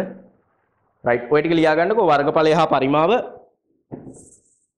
ත්‍රිකෝණමිතිය පයිතගරස් සම්බන්ධය කණ්ඩාංක ජාමිතිය කණ්ඩාංක ජාමිතිය සංඛ්‍යානය. සංඛ්‍යානය. සංඛ්‍යානය. ඔතන තියෙන පුතේ පාඩම් පහම ඔයා O level වල ඉගෙන ගත්තුවා. හැබැයි O level වලට වඩා අපි පොඩ්ඩක් ස්ටෑන්ඩඩ් විදිහට මේකේ උගන්වනවා සමහර දේවල්. හැබැයි O level වල ඔයා ওই පාඩම් පහෙම බේසික් ඉගෙනගෙන තියෙන්නේ. ඔය පාඩම් පහේම ඔයා O level වල O level වලදී බේසික් ඔක්කොම ඉගෙනගෙන තියෙන්නේ ඈ. හරිනේ ලියාගත්ත නේද? වර්ගඵලය හා පරිමාව ත්‍රිකෝණමිතිය පයිතගරස් සම්බන්ධය කණ්ඩාංග ජාමිතිය සංඛ්‍යානය. රයිට් එතකොට පුතේ O level වලදී ඔයා මේ පාඩම් ටික පහම ඉගෙනගෙන තියෙන්නේ. දැන් අපිට මෙහෙමයි. මෙන්න මේ තුන අපිට ඉගෙන ගන්න තියෙන්නේ 12 වසරේදී. පස්සේ කතා කරමු කොත කොතන හරියට ඉගෙන ගන්න කියලා. මොන වාරෙද කියන එක. මොන ටර්ම් එකේද කියලා කියලා දෙන්න. හරි. මේ පාඩම් දෙක ඉගෙන ගන්න අපි 13 වසරේදී. ඔන්න ඔහොමයි එන්නේ. මේ පාඩම් තුන අපි ඉගෙන ගන්නේ 12 වසරේදී මේ පාඩම් දෙක අපි ඉගෙන ගන්නේ 13 වසරේදී. දැන් ඔයා වර්ගඵලය හා පරිමාව O level වලට ඉගෙන ගත්තේ නැද්ද? ඉගෙන ගත්තා. ඔයා ත්‍රිකෝණයක වර්ගඵලය හොයන්න, සමාන්තර ආශ්‍රයක වර්ගඵලය හොයන්න, ට්‍රැපීසියමක වර්ගඵලය හොයන්නනේ ඉගෙන ගත්තා. ඊළඟට ඔයා ඝන වස්තු වල පෘෂ්ඨ වර්ගඵලය හොයන්න ඉගෙන ගත්තානේ. ගණකයක පෘෂ්ඨ වර්ගඵලය ගණ ඉගෙන ගත්තනේ. එහෙනම් පරිමාව ඉගෙන ගත්තනේ. හරි. ඒතකොට එහෙනම් මේ ඇත්තටම ඒ ටිකම තමයි කතා කරන්න තියෙන්නේ. හැබැයි පොඩ්ඩක් ඊට වැඩි ස්ටෑන්ඩඩ් විදිහට තමයි අපිට ගණන් හදන්න තියෙන්නේ. ඊට වැඩි ටිකක් විෂය කරුණු ටිකකුත් අලුතෙන් ඇඩ් වෙනවා. හරි. රයිට්. එතකොට එහෙනම් වර්ගඵලයේ පරිමාව පාඩම ඔයා දන්නවා. ත්‍රිකෝණමිතිය ඔයා දන්නේ නැද්ද? sin costan ඕලෙවල් වලට ඉගෙනගෙන නැද්ද? ඉගෙනගෙන තියෙනවා. ඒකත් මෙතන ඉගෙන ගන්න තියෙනවා සම්පූර්ණයෙන්. හරි. පයිදකර සම්බන්ධ ඉගෙනගෙන තියෙනවනේ. රයිට්. කාණ්ඩාංග ජ්‍යාමිතිය කියන වචනේ නම් ඔයාට එච්චර හුරු නැතුව ඇති. හැබැයි ඔයා ඉගෙනගෙන තියෙනවා. සරල රේඛීය ප්‍රස්ථාර හා වක්‍ර ප්‍රස්ථාර කියලා නේ. ඔයාගේ O level syllabus එකේ තියෙනවා සරල රේඛීය ප්‍රස්ථාර ගැනයි වක්‍ර ප්‍රස්ථාර ගැනයි. ඉතින් එතකොට ඒ කණ්ඩාංක ජ්‍යාමිතිය තමයි. හරි. සංඛ්‍යානය කියන පාඩම නම් ඔයා දන්නවා ඇති පුතේ. ඒකත් ඔයා ඔලවලට ඉගෙනගෙන තියෙනවා. මාතය මධ්‍යස්ථය මධ්‍යයන්නේ චතුර්ථක හොයන්න. පන්ති ප්‍රාන්තර වගු. හරි. සමුචිත සංඛ්‍යාත වක්‍ර. හරි. ඕවා තිබ්බේ සංඛ්‍යානය කියන පාඩම. හරි. ඒතර ඒක මං හිතන්නේ ඔලවල වල මේ මැත්ස් වල පාඩම් කිහිපයකට තිබ්බේ. නමුත් අපිට මෙතනදී තනි පාඩම විදියට සම්පූර්ණයෙන්ම ඔක්කොම බේසික් මේ සංඛ්‍යානයේ කොටසට අදාළ ස්ටැටිස්ටික්ස් වල බේසික් කොටස් ටික ඔක්කොම ඉගෙන ගන්න තියෙනවා එක තනි පාඩමක. හරි. එතකොට පුතේ මේ ටික අපිට ඉගෙන ගන්න තියෙන 12 වසරේදී මේ ටික අපිට ඉගෙන ගන්න තියෙන්නේ 13 වසරේදී. හරි. එතකොට මේකත් මේ මැත්ස් පාඩම් ටික. හරි. දැන් එතකොට මැත්ස් පාඩම් ටික හරි නේද? රයිට්. එහෙනම් අපි යමු ඊළඟ ස්ලයිඩ් එකට. අපි බලමු මේක ලියාගත්තනේ නේ. හරි. ඊට පස්සේ මෙන්න පුතේ මං ගොන බයෝ වල තියෙන්නේ සිලබස් එකේම එක පාඩමයි. බයෝ වල සිලබස් එකේම තියෙන්නේ එක පාඩමයි. මෙන්න තියෙනවා ඒ පාඩම. හරි. බයොලොජි වල සිලබස් එකටම තියෙන්නේ තනි පාඩමක්. හරි. මේ තියෙන්නේ පාඩම. මේක ඔයාලට හම්බෙන්නේ පුතේ 12 වසරේදී. 12 වසරේ ඇත්තටම පළවෙනි වාරෙදී. 12 වසරේ පළවෙනි වාරෙදී තමයි මේ පාඩම හම්බෙන්නේ. හරි. බලන්න පුතේ බයොලොජි වල මේ ලෙසන් එක තනි පාඩමක් තියෙන එක පාඩමයි ඈ. දැන් මැත්ස් වල පාඩම් පහක් තිබ්බනේ සිලබස් එක පුරාවටම. හැබැයි බයෝ වල තියෙන තනි පාඩම. රයිට්. එතකොට මෙන්න පාඩමේ නම සෛල සංවිධානයක් සහිත ජීවීන් තාක්ෂණය සඳහා උපයෝගී කර ගැනීම. මම තමයි ඒක මේ අණු කොටස් 6කට බෙදාගෙන තියෙන්නේ. 1 3 4 5 6. හරිද? ඒ විදිහට මම අණු කොටස් 6කට කඩාගත්තා. සෛලය, පටක රෝපණය, වනාන්තර, ශාක වර්ධනය, පෘෂ්ඨවංශීන් හා අපෘෂ්ඨවංශීන්, සුද්‍ර ජීව විද්‍යාව කියලා අර තනි පාඩම මම කෑලි 6කට කඩාගත්තා ඔයාලට උගන්වන්න අනුමාත්‍රිකා 6කට. හරි. රයිට්. ඒතකොට ඔයා මේක නෝට් ඩවුන් කරගන්න ඕනේ. ජීව විද්‍යාව පාඩම් එකයි තියෙන්නේ SFT සිලබස් එකේ. ඕක ඔයා 12 වසරේ පළවෙනි වාරෙදිම ඉගෙන ගන්නවා. හරිද? ඒ ලෙසන් එකේ නම තමයි සෛල සංවිධානයක් සහිත ජීවීන් තාක්ෂණය සඳහා උපයෝගී කර ගැනීම. ඒකට දාලා අණු කොටස් ටික තමයි මේ ටික මේ කියන්නේ මේ පාඩම යටතේ මෙන්න මේ ටික උගන්වනවා. හරි. රයිට් මේක නෝට් ඩවුන් කරගන්නකො පුතේ. මේ ටික ලියා ගන්න.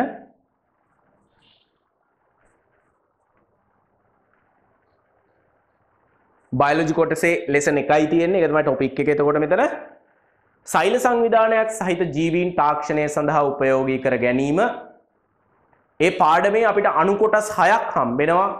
සෛලය ගැන ඉගෙන ගන්න තියෙනවා. පටක රෝපණය ගැන ඉගෙන ගන්න තියෙනවා. වනාන්තර ගැන ශ්‍රී ප්‍රධාන වශයෙන් ශ්‍රී ලංකාවේ වනාන්තර ගැන ඉගෙන ගන්න තියෙනවා.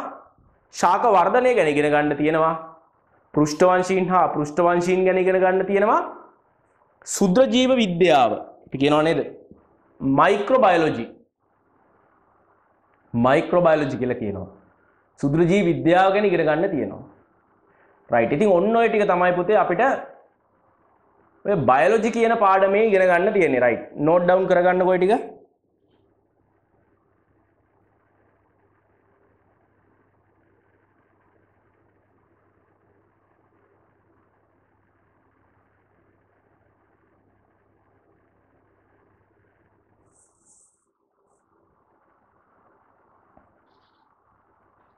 ඔය පාඩම අපිට හම්බෙන්නේ 12 වසරේ පළවෙනි වාරේ. එතනින්ම බයෝ කොටස ඉවර වෙනවා එතකොට. 12 වසරේ පළවෙනි වාරේදී තමයි අපිට ඕක හම්බෙන්නේ.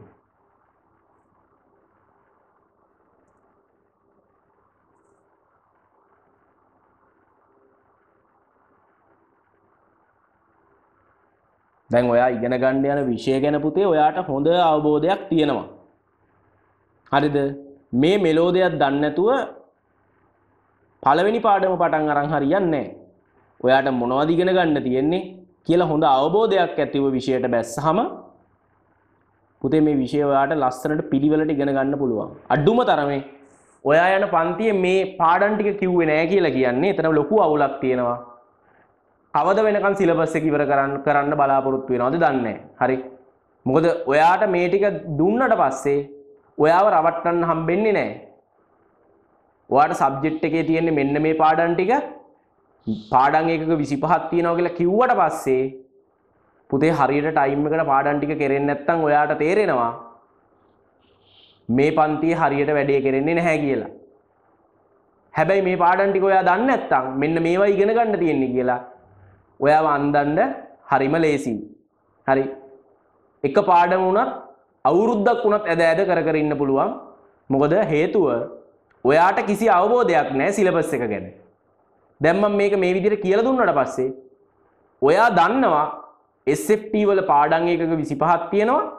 මෙන්න මේ පාඩම් ටික තමයි තියෙන්නේ. එතකොට මේවා කවර් වෙනවද කියලා ඔයාට හොඳ අවබෝධයෙන් ඉගෙන ගන්න පුළුවන්. ඔයාට හොර කරන්න බෑ. ගුරුවරයාට ඔයාව රවට්ටන්න බෑ. පැහැදිලිද? හරියට ලියාගත්ත නේද?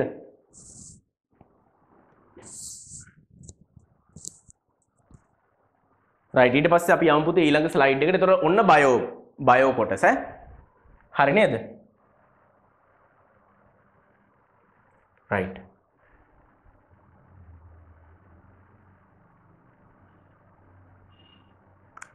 ඊට පස්සේ ඔන්න ෆිසික්ස් මේ ගොඩක් ළමයි අමාරුව වැටෙන පාඩම් ටික. මොකද මේවා පට්ට ස්ටෑන්ඩඩ් විදිහට ඉගෙන ගන්න ඕන පාඩම්. ෆිසික්ස් පාඩම් භෞතික විද්‍යාව හරිද? මේවා හරියට ඉගෙන ගත්තේ නැත්නම් sorry.com වෙනවා. SFT සබ්ජෙක්ට් එකම ඉවරයි ඈ. මේ පාඩම් හරියට ඉගෙන ගත්තේ නැත්නම් සබ්ජෙක්ට් එක ඉවරයි ළමයි. ඒ කියන්නේ මේ හොඳම සිලබස් එකේ තියෙන හොඳම පාඩම් අට. හරි. මේ පාඩම් අට හොඳට ඉගෙන ගන්න ඕන. මේව ගණන් හදන්න තියෙන ෆිසික්ස් වල තියෙන ගණන් හදන්න. තියරි අහන්නේ ගොඩක් අඩුවෙන්. ගණන් හදන්න තමයි තියෙන්නේ. ඉතින් මේ පාඩම් ටික අපි හරියට තිතට ඉගෙන ගන්න ඕන. පැහැදිලිද? රයිට්. එතකොට මෙන්න පාඩම් අට ෆිසික්ස් භෞතික විද්‍යාව පාඩම් අට. මිනුම් උපකරණ බලය හා මේ මේවැ මේ වචන ඔයාට O level වලදීත් අහු වෙලා ඇති. බලය දන්නවා. බලගූර්ණේ දන්නවා ඔයා. ශක්තිය ගැන දන්න ඔය. චාලක ශක්තිය විභව ශක්තිය ඔයා ඉගෙනගෙන තියෙනවා. තරලය ගැන ඔයා දන්නවනේ ඔය ආකිමිඩිස් නියම එහෙම තියෙන්නේ. ආකිමිඩිස් නියම, ඉපිලුම් නියම ඒව තියෙන්නේ. ආ භ්‍රමණ චලිතය ගැන තිබ්බා O level වලට. තාපය ගැන තිබ්බනේ ඔය සංවහනය. ඊට පස්සේ මේ මොනවද සන්නයනේ සංවහනය විකිරණය ඔව තිබ්බෙනේ හරි. විද්‍යුතය ප්‍රතිරෝධානම්මනං හරිද ඒවා ගැන පොඩි අයිඩියා එකක් තියෙනවා. ප්‍රත්‍යස්තතාවය කියන්නේ පුතේ ඔය රබර් ප්‍රත්‍යස්ත ද්‍රව්‍යයක් ඇදෙනවා හරි ඇදෙන සුළු බව. එය ස්ප්‍රින් අනම්මන ඒ ඒ දේවල්. හරිද?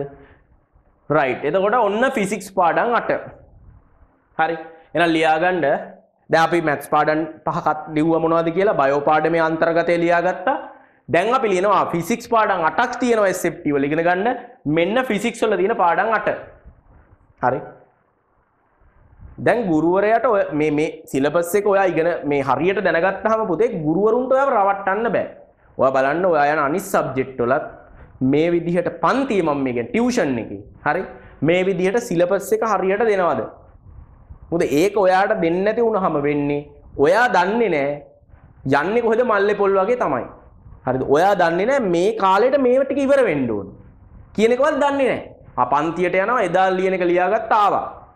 හරියට සිලබස් සමහරලාට පුතේ මම ඉස්සරහට කියන්නම් මේ මෙන්න මේ බයෝලෙසන් එක අවුරුද්දක් උගන්වනවා පන්ති. හරිද? පේපර් එකේ තියෙන පුතේ ලකුණු 10යි. අවුරුද්දක් නෙමෙයි මේක දැන් අවුරුදු දෙකක් ඉගෙනුවා පේපර් එකේ තියෙන ලකුණු කීයද ලකුණු 10යි. හරිද? ඒතර වැඩි බාරක් වැටෙන්නේ නැහැ ඇත්තටම. මම ඉස්සරහට ඒවට කියලා දෙන්නම්. එහෙම ළමයින්ව අන්දනවා. ඒ කියන්නේ එයාට පුළුවන් බයෝ විතරයි. ඒ ගුරුවරයාට පුළුවන් බය. දැන් මේක උගන්වන්න බෑනේ පුතේ. මැත්ස් ගැන අයිඩියා එකක් නැත්තම් බෑ. හරිද? ඊළඟට බයෝ පාට් එකක් යනවා. ඉතින් බයොලොජි ගැන හොඳයි, සෛලය ගැන ඒ කන්සෙප්ට්ස් හොඳ ගැන හොඳට ඉගෙනගත්තු අයිඩියා එකක් තියෙන කෙනෙක් වෙන්න ඕනේ. ෆිසික්ස් ගැන අයිඩියා එකක් නැති ගුරුවරු තමයි බහුතරයක් ඉන්නේ. ෆිසික්ස් පාඩම් ගැන හොඳ අවබෝධයක් තියෙනවා. නැත්තම් මේක උගන්වන්න බෑ මේ සබ්ජෙක්ට් එක. හරිද? බව් ඊළඟට කෙමිස්ට්‍රි පාඩම් ගැන හොඳ අයිඩියා එකක් තියෙනවා. රසායන විද්‍යාව බේසික්. හරි. ඊළඟට IT ගැන යම් අවබෝධයක් තියෙනවා. IT පාඩම් හතර උගන්වන්න. ඉතින් ඒ හැම ඒ ටික ඔක්කොම මේ මේ ඒ ටික ඔක්කොම හොඳට ටීච් කරගන්න පුළුවන් මිනිස්සෙක්ගේ ක්ලාස් එකකට තමයි යන්න ඕනේ. හරිද? සමහර ගුරුවරු ඉන්නවා. මම මේ කියන ඇත්ත කතාව. බයෝ විතරයි පුළුවන්. එතකොට කරන්න පුතේ බයෝ පාඩම අවුරුද්දක් අද ඇද උගන්වනවා. හරි. ළමයා නන්නත්තර වෙනවා. හේතුව මේක ලකුණු 10යි. ඔයා මේක කොහොම නටලා ඉගන්නුවත් පේපර් එකේ ලකුණු 10යි වෙන් වෙන්නේ. එම් ඉරි ගහන ප්‍රශ්න පහකුයි ලියන ප්‍රශ්න එකකුයි එච්චරයි. වෙන කොහෙත්ම එන්නේ නැහැ. ඒ කියන්නේ පේපර් එකේ ස්ට්‍රක්චර් එක දීලා තියෙනවනේ පුතේ කලින්. මේ ස්ට්‍රක්චර් එකෙන් පිට පේපර් එකෙන් නෑ. එතකොට ලකුණු 10යි තියෙන්නේ. මේක අවුරුද්දක් නෙමෙයි අවුරුදු එකහමාරක් දෙකක් ඉගෙනුවා ලකුණු 10යි. ඒ කියන්නේ වැඩි බාරක් වැටෙන්නේ නෑ. හරි. දැන් මෙතන තියෙන මේ මැත්ස් පාඩම් පහ එහෙම නෑ. මේ පාඩම් පහෙන් මේක O level වල ඉගෙනගත්තු දේවල්ම ඉගෙන ගන්න තියෙන්නේ. හැබැයි ඊට වඩා ටිකක් එහාට යන්න තියෙනවා. ලකුණු 25ක් තියෙනවා පේපර් එකේ. හරිද? ලකුණු 25ක් තියෙනවා. මැත්ස් පාඩම් පහට 25ක් තියෙනවා. මේකට තියෙන ලකුණු 10යි. ලකුණු 10යි. ෆිසික්ස් පාඩම් 8ට ලකුණු තියෙනවා පුතේ 35ක්. ඒක ලොකු බරක් වැටෙනවා. බයෝ අවුරුද්දක් උගන්වනවට බයෝලොජි පාඩම අවුරුද්දක් උගන්වන්න දෙයක් නැහැ. අපි දැන් මේ පළවෙනි ටර්ම් එකේදී ඕක ඉවර කරලා දානවා. හරිද?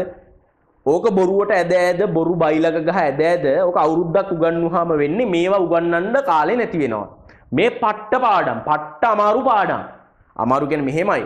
හරියට මුල ඉඳන් මේක ලස්සනට පිළිවෙලට ඉගෙනගෙන තියරි පාට් එක ඔලුවට දාගෙන ගණන් හදලා ප්‍රැක්ටිස් එක තියෙන ළමයාට මේවා nothing. හරිද? හැබැයි අර වෙන්නේ අරව ඉගෙන අරව අරග අවුරුදු ගණන් බොරුවට චාටර් වෙවි ඉගෙන ගත්තාම මේවා හොඳට ඉගෙන ගන්න දෙන ටයිම් එක යොයාට නැති වෙන්නේ. ඒ මොනොත් සබ්ජෙක්ට් එක කෙල වෙලා යනවා. මේ පාඩම් නැතුව මේක කරන්න බෑ. මේ පාඩම් සුපිරියට ඉගෙන ගන්න ඕන. ෆිසික්ස් පාඩම් ටික. මොකද මේක ෆිසික්ස් පුළුවන් නම් පුතේ SFT පුළුවන්. මොකද ෆිසික්ස් පාඩම් වලට තමයි ගොඩක් දෙනෙක්ට අමාරු. මේක පුළුවන් වුණොත් SFT පුළුවන්. හරි? ඒ නිසා ඔයා හොඳට අයිඩියා එකේ තියාගන්න පන්තියේ එක සමහර පන්තිවල මේ ඔයා මම දන්න ද ඔය සෙප්ටිවල මගේ ක්ලාස් එනවා වෙන්න පුළුවන්. අනි සබ්ජෙක්් එකට වෙන පන්ති දෙකට යනවා වෙන්න පුළුවන්. ඔයා බලන්න ඔයා යන පන්තියේ සමහල්ලට උගන්නන්නේ පැය දෙකයි. ඒ උගන්නන පැය දෙකනුත් එක පැයක් බයිලග ගහ අනිත් පැය එක්තොර පැය උගන්නන්නේ හරි ඔයා සල්ලිදීලා යන්න. ඔයන්නේ සර්ගේ පොරටෝක් අහන්ඩවත් ඔයන්නේ සර්ගේ බයිලහන්ඩවත් ඒවට නෙමෙනවා ලාස්සයන් මුද හරි පන්ති තුනක් තෝරගත්තේ නැත්තම් හරියට සබ්ජෙට් එක හොඳට දන්න. ළමයි ගොඩක් ඉන්න පන්තිය නෙමේ පුතේ හොඳම පන්තිය. ළමයි ගොඩක් ඉන්න පන්තිය බොහෝ වෙලාට හොඳම පන්ති වෙන්නේ හේතුව තමයි හරිද? ළමයි ගොඩක් රැඳෙන්නේ දැන් බහුතරයක් ළමයි රැඳෙන්නේ. දැන් ඔය ඒ කියන්නේ ඉගෙන ගන්න ළමයි ප්‍රමාණය ඇත්තටම අඩුයි පුතේ පන්තිවල. හැබැයි ළමයි ගොඩක් රැඳෙනවා. මොකද අර පන්තිවල දෙන මෝඩාතල් වලට ලසර්ගෙට ලොකු පොරටෝක් අහන්න එහෙම පන්ති යන්නේ. ගොඩක් ළමයි පන්ති යන්නේ ඇත්තටම උට A level කියන එක තේරෙන්න ගන්නේ සාමාන්‍ය විභාගයට ලං වුණාම. ඒ කියන්නේ ඔයා දැන් 25 විභාග ලියන කාලෙ වෙද්දි ගොඩක් 25 ලියන ළමයින්ට එතකොට තමයි තේරෙන්නේ ආ මේ A level අපි මෙච්චර කල් මොකද්ද කරේ කියන එක. ඒතර පරක්කු වැඩි. හරි. ඒ නිසා දැන් හරියට පන්ති සිලෙක්ට් වෙන්න ඕනේ. හරියට පන්ති සිලෙක්ට් වුණ නැත්නම් ඔයා පට්ට අමාරුවක වැටෙනවා. පන්ති සිලෙක්ට් කරද්දී ඔයා බලන්න ඔයා යන පන්තියේ පැය දෙකක් උගන්නද්දි පැයක් බයිල ගහ ගහ ඉන්නවනම් පුතේ හරි තමයි ඈ. හරිද? පැයක් විතර බයිල ගහ ගහ පන්තියට අදාළ නැති දේවල් කිය කී ඉන්නවනම් අන්න වැඩේ ඔයාට sorry.com වෙනවා. සිලබස් කවර් වෙන්නේ අනිවාර්යෙන් ඒ දේ එහෙම වෙනවා. හරි? ඒ නිසා ඔයා ටියුෂන් එකට සල්ලි දීලා යන්නේ ඉගෙන ගන්නනේ නැතු ඒක ගොන් ආතල් එකක් ගන්න නෙමෙයි. ඉතින් එතකොට එහෙම පන්තියකට යනකොට හොඳට බලපන් දැන් SFT නම් දැන් ඔයාලට පුළුවන් මේ මගේ පන්තියත් එක්ක කම්පෙයාර් කරන්න කිසි අවුලක් නැහැ. මගේ පන්තියත් එක්ක කම්පෙයාර් කරන්න. ඔයා යන පන්තිය. එතකොට ඔයා බලන්න මුලින්ම බලන්න ඔයාට සිලබස් එක කියලා දුන්නද කියලා. සිලබස් එක කියලා දීලා නැත්නම් ඒ තමයි ඔයාව අන්දන එකේ පළවෙනි පියවර. ඔයා සිලබස් එක දන්නේ නැහැ කියන්නේ ඔයා හොඳට අන්දන්න පුළුවන්. බයෝ පාඩම අවුරුද්දක් ඉගෙනුවොත් ඔයා දන්නේ නැහැ. හරිද? ඔයා හිතන්නේ මං හැමදාම ආමා ඉගෙන ගත්තා. ඔයයි පේපර එකට ඔයාට ලකුණු 10ක්වත් ගන්න හම්බෙන්නේ නැහැ. මොකද බයෝලදී ලකුණු 10යි. හරි? ඒ නිසා මුලින්ම ඔයා යන පන්තිය බලන්න ඔයා මොන ටෙක්නොලොජි වල මොන පන්තියෙන් මට කමන්නේ මගේ ක්ලාස් එකත් එක්ක කම්පෙයාර් කරන්න. කිසි ගැටලුවක් නැහැ. මොකද ඔයාට මේක ෆ්‍රී මාස 3ක් ඉගෙන ගන්න පුළුවන් නේ. මම මුදල් ගන්න නැහැනේ. ෆ්‍රී ඉගෙන ගන්න පුළුවන් මාස 3ක්. හැම සතියෙම සෙෂන්ස් දෙකක් යනවා. පැය 4 සෙෂන්ස් දෙකකින් පැය 8ක් ඔයාට ඉගෙන ගන්න පුළුවන්. අපේ ක්ලාස් එකෙන් සත පහක්වත් ගන්නෙ නැහැ. ඔයාට පුළුවන් කම්පයා කරන්න ඔයන පන්තියත් එක්ක. හරි දවා සල්ලි දීලන පන්තියත් එක කම්පයා කරන්නකෝ.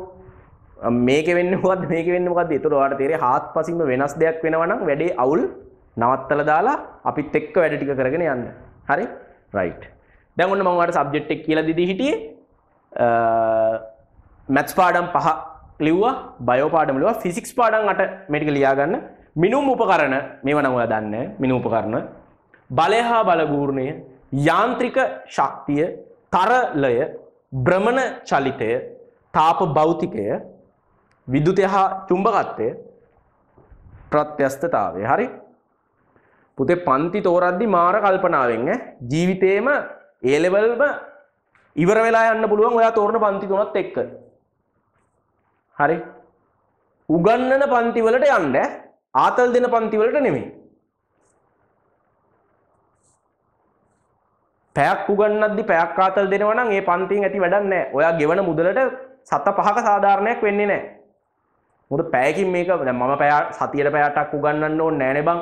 පැය පැයකින් මේක කරන්න පුළුවන් නම්. එහෙම උගන්නන්නේ මේකේ සෑහෙන දෙයක් ඉගෙන ගන්න තියෙන හින්දා.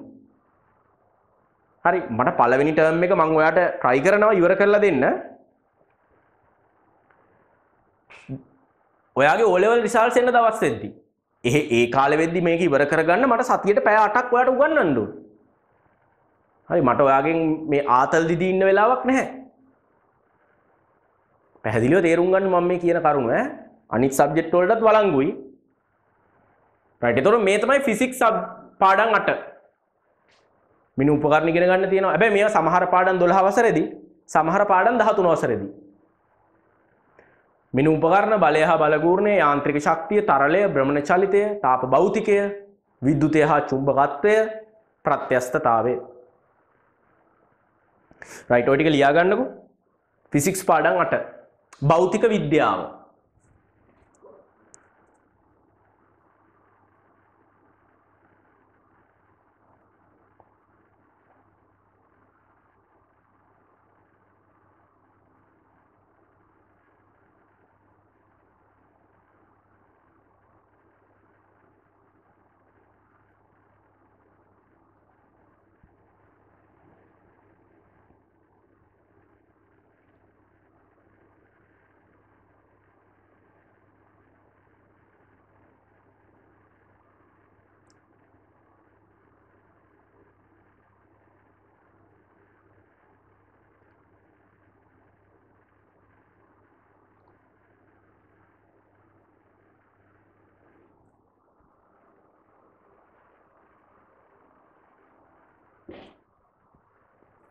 රයිට් අපි යමු පුතේ මේ ඊළඟ ස්ලයිඩ් එකට. හරි. මෙන්න තියෙනවා පුතේ කෙමිස්ට්‍රි පාඩම් හත. මේකෙත් ලකුණු 35ක් තියෙනවා. දැන් මම කියවනේ මෙතන ෆිසික්ස් පාඩම් අටටත් දැන් මම කිව්වා මෙතන මේ මෙතන ලියන්නම්කෝ. මැත්ස් පාඩම් පහට ඔයාට තියෙනවා පුතේ පේපර් එකේ ලකුණු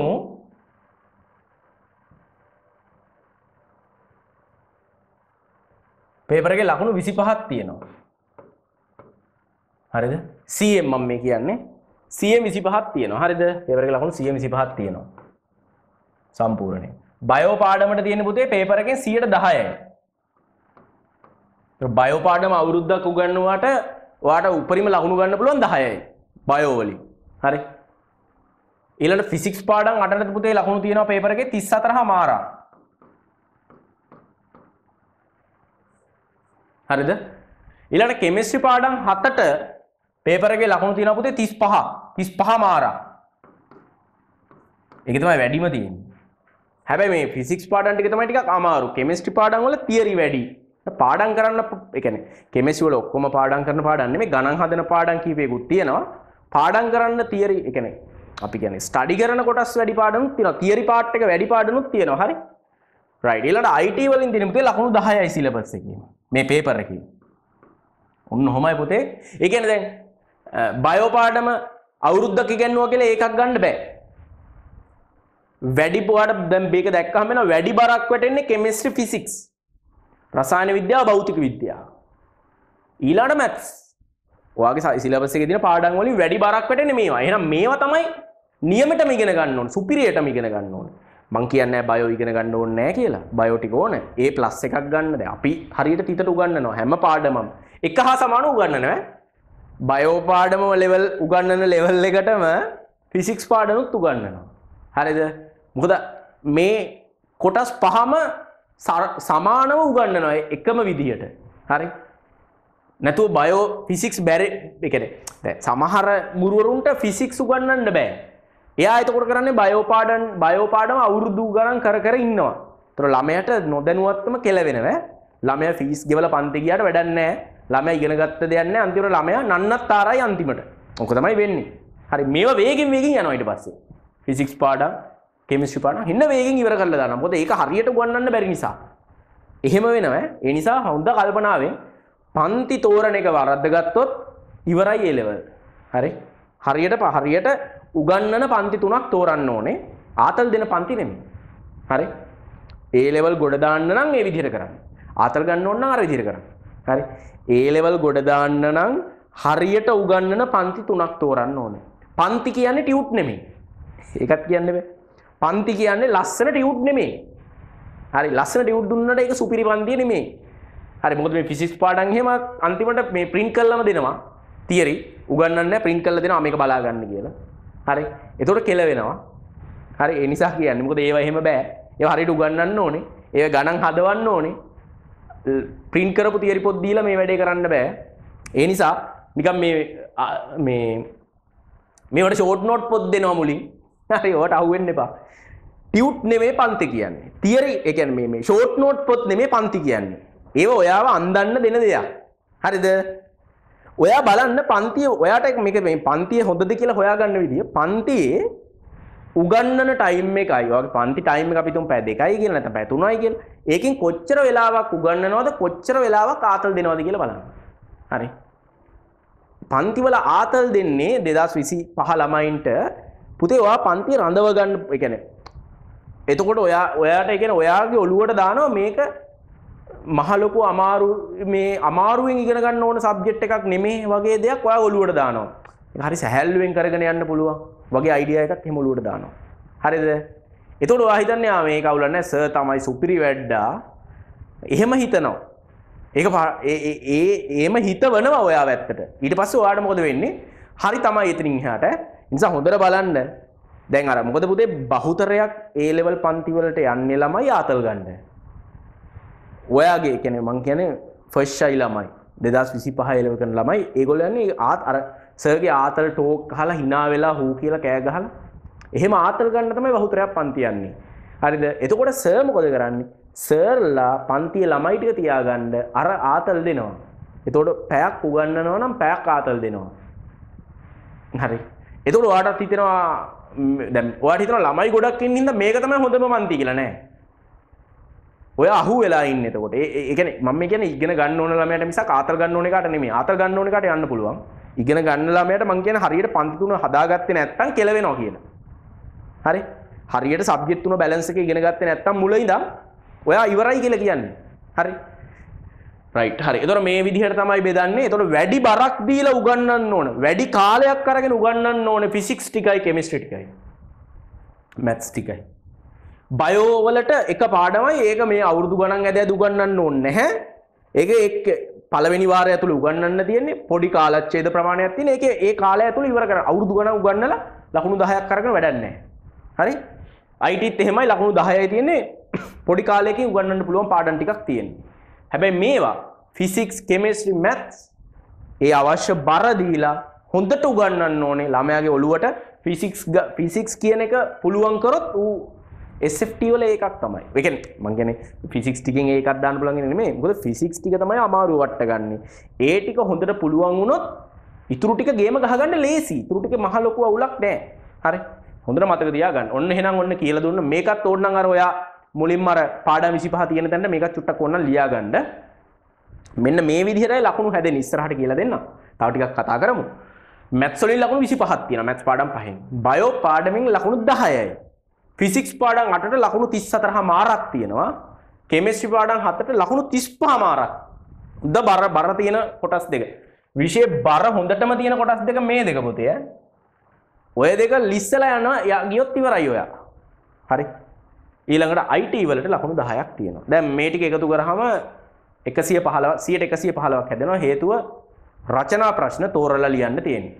රචනා ප්‍රශ්න හයක් දීලා හතරයි ලියන් දෙන්නේ. එතකොට අර මෙතන ලකුණු වල පොඩි වෙනසක් වෙනවා. හරි. රයිට් හරි.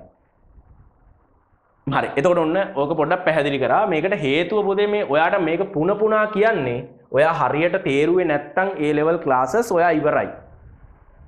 හරිද? ඒ හොඳට මතක තියාගන්න. හරි? රයිට් රයිට් එතකොට මේ තියෙන මැත්ස් පාඩම් පහ.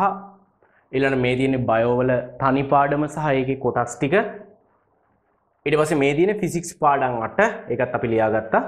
ආරයිට් මේ තියෙන්නේ කෙමිස්ට්‍රි පාඩම් 7 තාප රසායනය චාලක රසායනය ජෛවාණු බහු අවයවික කර්මාන්ත රසායනය ස්වභාව නිෂ්පාදන තාක්ෂණික දියුණුව හා පරිසරය. රයිට් හරි පුතේ ඔයා එතකොට ඊළඟට කෙමිස්ට්‍රි නැත්ත රසායන විද්‍යාව පාඩම් 7 කියලා ලියාගෙන මෙන්න මේ ටික ඊට යටින් ලියන්න. හරි. තාප රසායනය චාලක රසායනය දැන් ඕකේ සමහර පාඩම් තියෙන්නේ 12 වසරේදී ඉගෙන ගන්න. සමහර පාඩම් වාට ඉගෙන ගන්න තියෙන්නේ 13 වසරේදී. කමන්නේ ඔයාට හොඳ අවබෝධයක් තියෙන්න ඕනේ. සිලබස් එකේ තියෙන්නේ මෙන්න මේ පාඩම් ටික. මේ පාඩම් 25 කව වෙලා නම් මට සිලබස් එක කව කියන එක ඔළුවේ තියෙන්න ඕනේ හැමතිස්සෙම. මේක O level වගේ මේ කියන්නේ O level වගේ ඒ කියන්නේ O level A level අතර වෙනස තේරුම් ගන්න. මේ O level වගේ මේ මේ සීනි බෝල වැඩක් නෙමෙයි මේ A level කියලා කියන්නේ. හරි? මේක තරඟ විභාගයක් පුතේ. මේකෙන් කැම්පස් යන්න පුළුවන් ලක්ෂ 3ක් ළමයි එක්සෑම් ලියද්දි ලංකාවේ කැම්පස් යන්න පුළුවන් 40000ට. හරි? ලක්ෂ 3ක් ළමයි A level එක්සෑම් කරද්දි කැම්පස් එකට යන්න පුළුවන් 40000යි. තේරෙනවනේ? ඒතකොට මේක තරඟ විභාගයක්. O level වගේ හැමෝටම A9 ඒවා A8 ඒවා දෙන්නේ නැහැ. හරි දැ ඕලෙවල් පුතේ ඒ ඒ නම් ඒවා ඒ අටේව සමහට පඳුරකට ගැහුවාම මේ ප්‍රධාන නගරවල ප්‍රධාන පාසල් වල පනා හැට විට ඉන්නවනේ. හැබැයි ඒලෙවල් එහෙම වෙන්නේ නැහැ. ඒලෙවල් කියන තරඟ විභාගයක්. තරඟ විභාගයක්. හරිද? මේකේ ඔය ලක්ෂ තුනක් ඒලෙවල් කරද්දි කැම්පස් එකට සුදුසුකම් කැම්ප් සුදුසුකම් ලබයි ගොඩ ළමයි ප්‍රගෙන පාස් වුණත් කැම්පස් යන්න සුදුසුකමක් මේක හැබැයි කැම්පසකට යන්න පුළුවන් ලංකා විශ්වවිද්‍යාලවලට ඇතුළත් වෙන්න පුළුවන් 40000ක වගේ ප්‍රමාණයක් ඈ ලක්ෂ 3ක් ඒ ලෙවල් ලියද්දි. ඒ හොඳට මතක තියාගන්න. ඒ නිසා මේක O level වගේ සීනි බෝල වැඩක් නෙමෙයි. A level කියලා කියන්නේ. රයිට් ඒතර පාඩම් ටික තමයි තාප රසායනය, චාලක රසායනය, ජෛවාණු, බහුවවයවික, කර්මාන්ත රසායනය, ස්වභාව නිෂ්පාදන තාක්ෂණික දියුණුව හා පරිසරය ඔය ටික ලියා ගන්නකෝ ඔය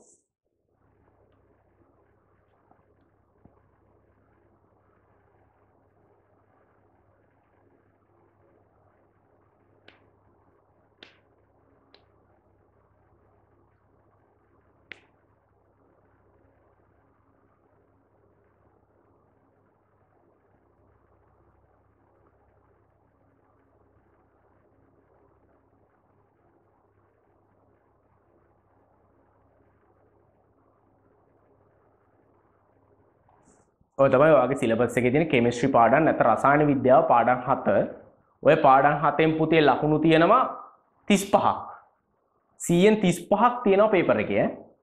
100න් 35ක් තියෙනවා පේපර් එකේ. එන්න ලොකු ප්‍රමාණයක් ඈ. සැලකිය යුතු ප්‍රමාණයක්.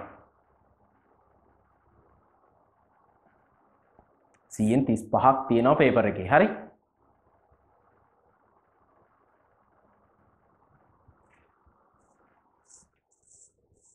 තාප රසායනයේ චාලක රසායනයේ ජෛවාණු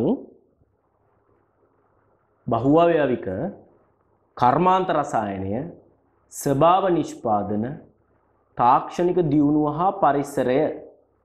තාක්ෂණික දියුණුව හා පරිසරය. රයිට් එතකොට ඒ කෙමිස්ට්‍රි පාඩම් 7 රයිට් ඉතින් මේවා තමයි පුතේ බර දාලා උගන්වන්න ඕන පාඩම්. හේතුව මේවෙන් තමයි වැඩිපුර ලකුණු එන්නේ පේපර් එකට. ඒ නිසා. මෙතන තියෙන පුතේ මේ මේ පාඩම් දෙක එහෙමනම් ගණන් හදන පාඩම් තියෙන. තාප රසායනයේ චාලක රසායනයේ ඒවා ගණන් හදන්න තියෙනවා. මේවැ නම් පුතේ එහෙම ගණන් හදන්න නෙමෙයි මේවා ඇත්තම තියරි තමයි වැඩිපුර තියෙන්නේ මේ පාඩම් වල. රයිට්. ඊට පස්සේ මෙන්න පුතේ IT පාඩම් හතර. පරිගණකය හඳුනා ගැනීම, පරිගණක මෙහෙයුම් පද්ධති, යෙදුම් මුදුකාංග භාවිතය ඔය යෙදුම් මුදුකාංග භාවිතය කෙනෙක යටතේ වර්ඩ් පවපොයින්ට් එක්සෙල් ඒව ගැන තමයි ඉගෙන ගන්න තියෙන්නේ. ඊළඟට ඉන්ටර්නෙට් ඇන් ඊමේල් අන්තර්ජාලය හා විද්‍යුත් තැපෑල හරි. ඉතින් මෙන්න මේ බේසික් පාඩ ලකුණු 10යි තියෙන්නේ. ඇත්තට මේකෙන් එන්නේ ඉරිගහන ප්‍රශ්න 10ක් ඉරිගහන ප්‍රශ්න 10ක් තමයි මේ පාඩම් හතරෙන් එන්නේ. ලකුණු 10යි 100න් 10යි මේ පාඩම් හතර කොච්චර ඉගෙන ගත්තත් ඔයාට 100න් 10යි ගන්න. හරි. 100න් 10යි. රයිට්. එතකොට මොකද මේ පාඩම් මේ පාඩම් හතරෙන් හැදෙන්නේ ඉරිගහන ප්‍රශ්න 10ක් විතරයි. වෙන මොකුත් එන්නේ නැහැ පේපර් එකේ. හරි. රයිට්. එතකොට පැහැදිලිනේ අර බයෝ වගේ තමයි. බයෝ වලින් ලකුණු 10යිනේ. ඒ වගේ මේකෙනුත් 10යි. හරි. ඉතින් මෙන්න මේ පාඩම් ටික තමයි පුතේ. හරි. මේකත් ලියාගන්න IT කියලා ලියලා පාඩම් ඒ කියන්නේ SFT ඇතුළේ ඉගෙන ගන්න තියෙනවා බේසික් IT පාඩම් හතරක්. හරිද? ආ ඒ පාඩම් හතර තමයි මෙන්න මේ හතර. රයිට්. මේකත් ඔයාගේ දැන් ওই නෝට් පොතේ ලස්සනට පිළිවෙලට අපි නෝට් එක හදාගෙන යනවනේ. පල්ලෙහෙන් ලියා ගන්නකො. එක පහලින් ලියා ගන්න. IT පාඩම් හතරයි පරිගණකය හඳුනා දීම පරිගණක මෙහෙයුම් පද්ධති යෙදුම් මුදුකාංග භාවිතය අන්තර්ජාලය හා විද්‍යුත් තැපෑල අන්තර්ජාලය හා විද්‍යුත් තැපෑල.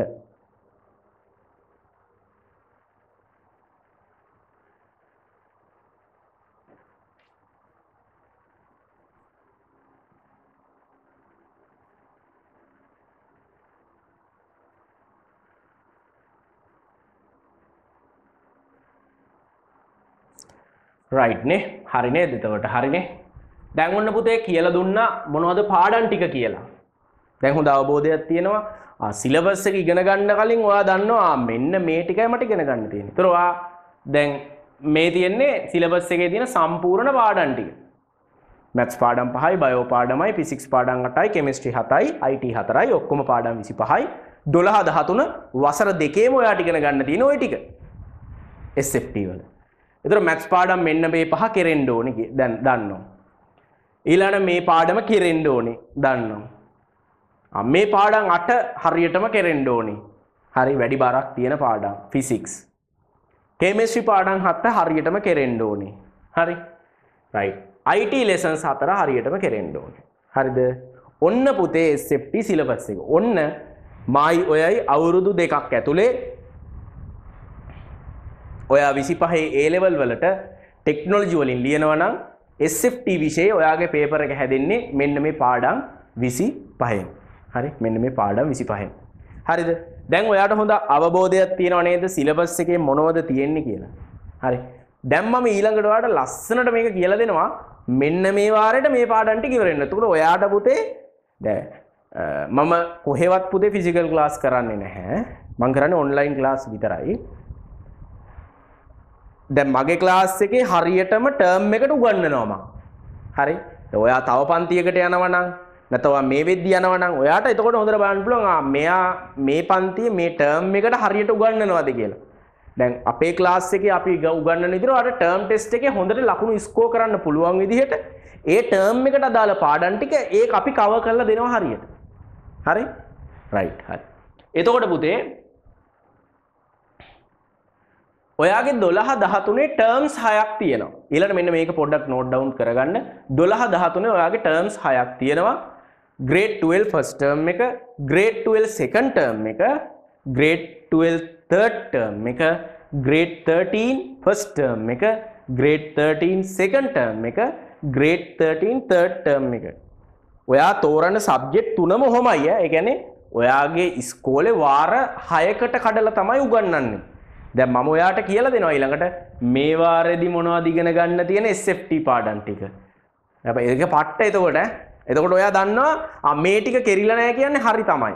මේ වාරේ මේ ටික කෙරලා නැහැ කියන්නේ මේ වාරේ වාර විභාගෙ ලියන්න ගියාම ඉස්කෝලේ ඔයා ඉවරයි. ඔයා අනාථ වෙනවා. හරි? එතකොට මේ ටර්ම් එකේ මේ පාඩම් ටික ඉවර වෙන්න ඕනේ. මේ ටර්ම් දාතන පාඩම් 25ක් කිව්වේ. ආ ඒ ටික පුතේ දැන් දැන් මෙහෙම නෙමෙයිනේ තියෙන්නේ.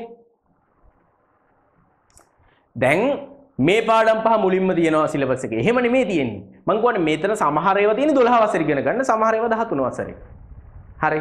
ඒතර ඒ කියන්නේ ඒතර මේ පිළිවෙලට නෙමෙයි තියෙන්නේ මැත්ස් පාඩම් ටික පිළිවෙලට, ඊළඟ බයෝ පාඩම, ඊළඟ ෆිසික්ස් ටික, ඊළඟ කෙමිස්ට්‍රි. එහෙම නෙමෙයි තියෙන්නේ සිලබස් එකේ. සිලබස් එකේ මේක තියෙන්නේ පුතේ පාඩ ඒ කියන්නේ මැත්ස් පාඩමක් යනවා, ආයි මැත්ස් පාඩමක් යනවා, ආයි කෙමිස්ට්‍රි පාඩම, බයෝ පාඩම, ෆිසික්ස් පාඩම කවල මේ තියෙන්නේ. හරිද? ඉති ඇත්තරම සමහර ළමයි පුතේ දන්නේ නෑ මේක ෆිසික්ස් පාඩමක්ද මේක කෙමිස්ට්‍රි පාඩමක්ද කියලා. දැන් මේනවා දැන් රිවිෂන් එකේ ඉන්නේ උන්ගෙන් දන්නේ නැහැ. දන්නේ නැති උන් ඉන්න ඕන තරම්. හරිද? 2023 මේ පාර එක්සෑම් එක ලියන උන් ඉන්නවා. මේ පාඩම ෆිසික්ස්ද බයෝද මැස් මොකක්ද කියලා ඇහුවොත් ඌ දන්නේ නැහැ. හරි? එහෙම ළමයි ඉන්නවා. ඒ කියන්නේ මෙච්චර කාලයක් ඉගෙනගෙන මොකද්ද කරලා තියෙන්නේ කියලා පොඩ්ඩක් හිතන්නකෝ හරි? අවුරුදු දෙකහ මෙහෙටන් විභාග ලියන්න ඉන්නේ ඌ. අවුරුදු දෙකහමාරක් ඉගෙනගෙන මේ පාඩම ෆිසික්ස් පාඩමක්ද කියන්න දන්නේ නැති උන් ඉන්නවනේ මේ පාඩම මැත්ස් පාඩමක්ද කියන්න දන්නේ නැති උන් ඉන්නවා. හරි? රයිට් එනිසා හරියට දැනගෙන ඉගෙන ගන්න. දැනගෙන ඉගෙන ගන්න. යන්නේ කොහෙද මල්ලේ පොල් නෙමේ? යන්නේ කොහෙද කියලා හරියට දැනගෙන යන්න. හරි? රයිට් හරි. එතකොට මේ මැත්ස් පාඩම් පහනේ. එතකොට මේවා තියෙන සිලබස් එකේ පිළිවෙලට නෙමේ. දැන් මම ඔයාලට කියලා දෙනවා. ඒ ටර්ම් එකට හරියටම කොහොමද මේක පිළිවෙලට තියෙන්නේ කියලා?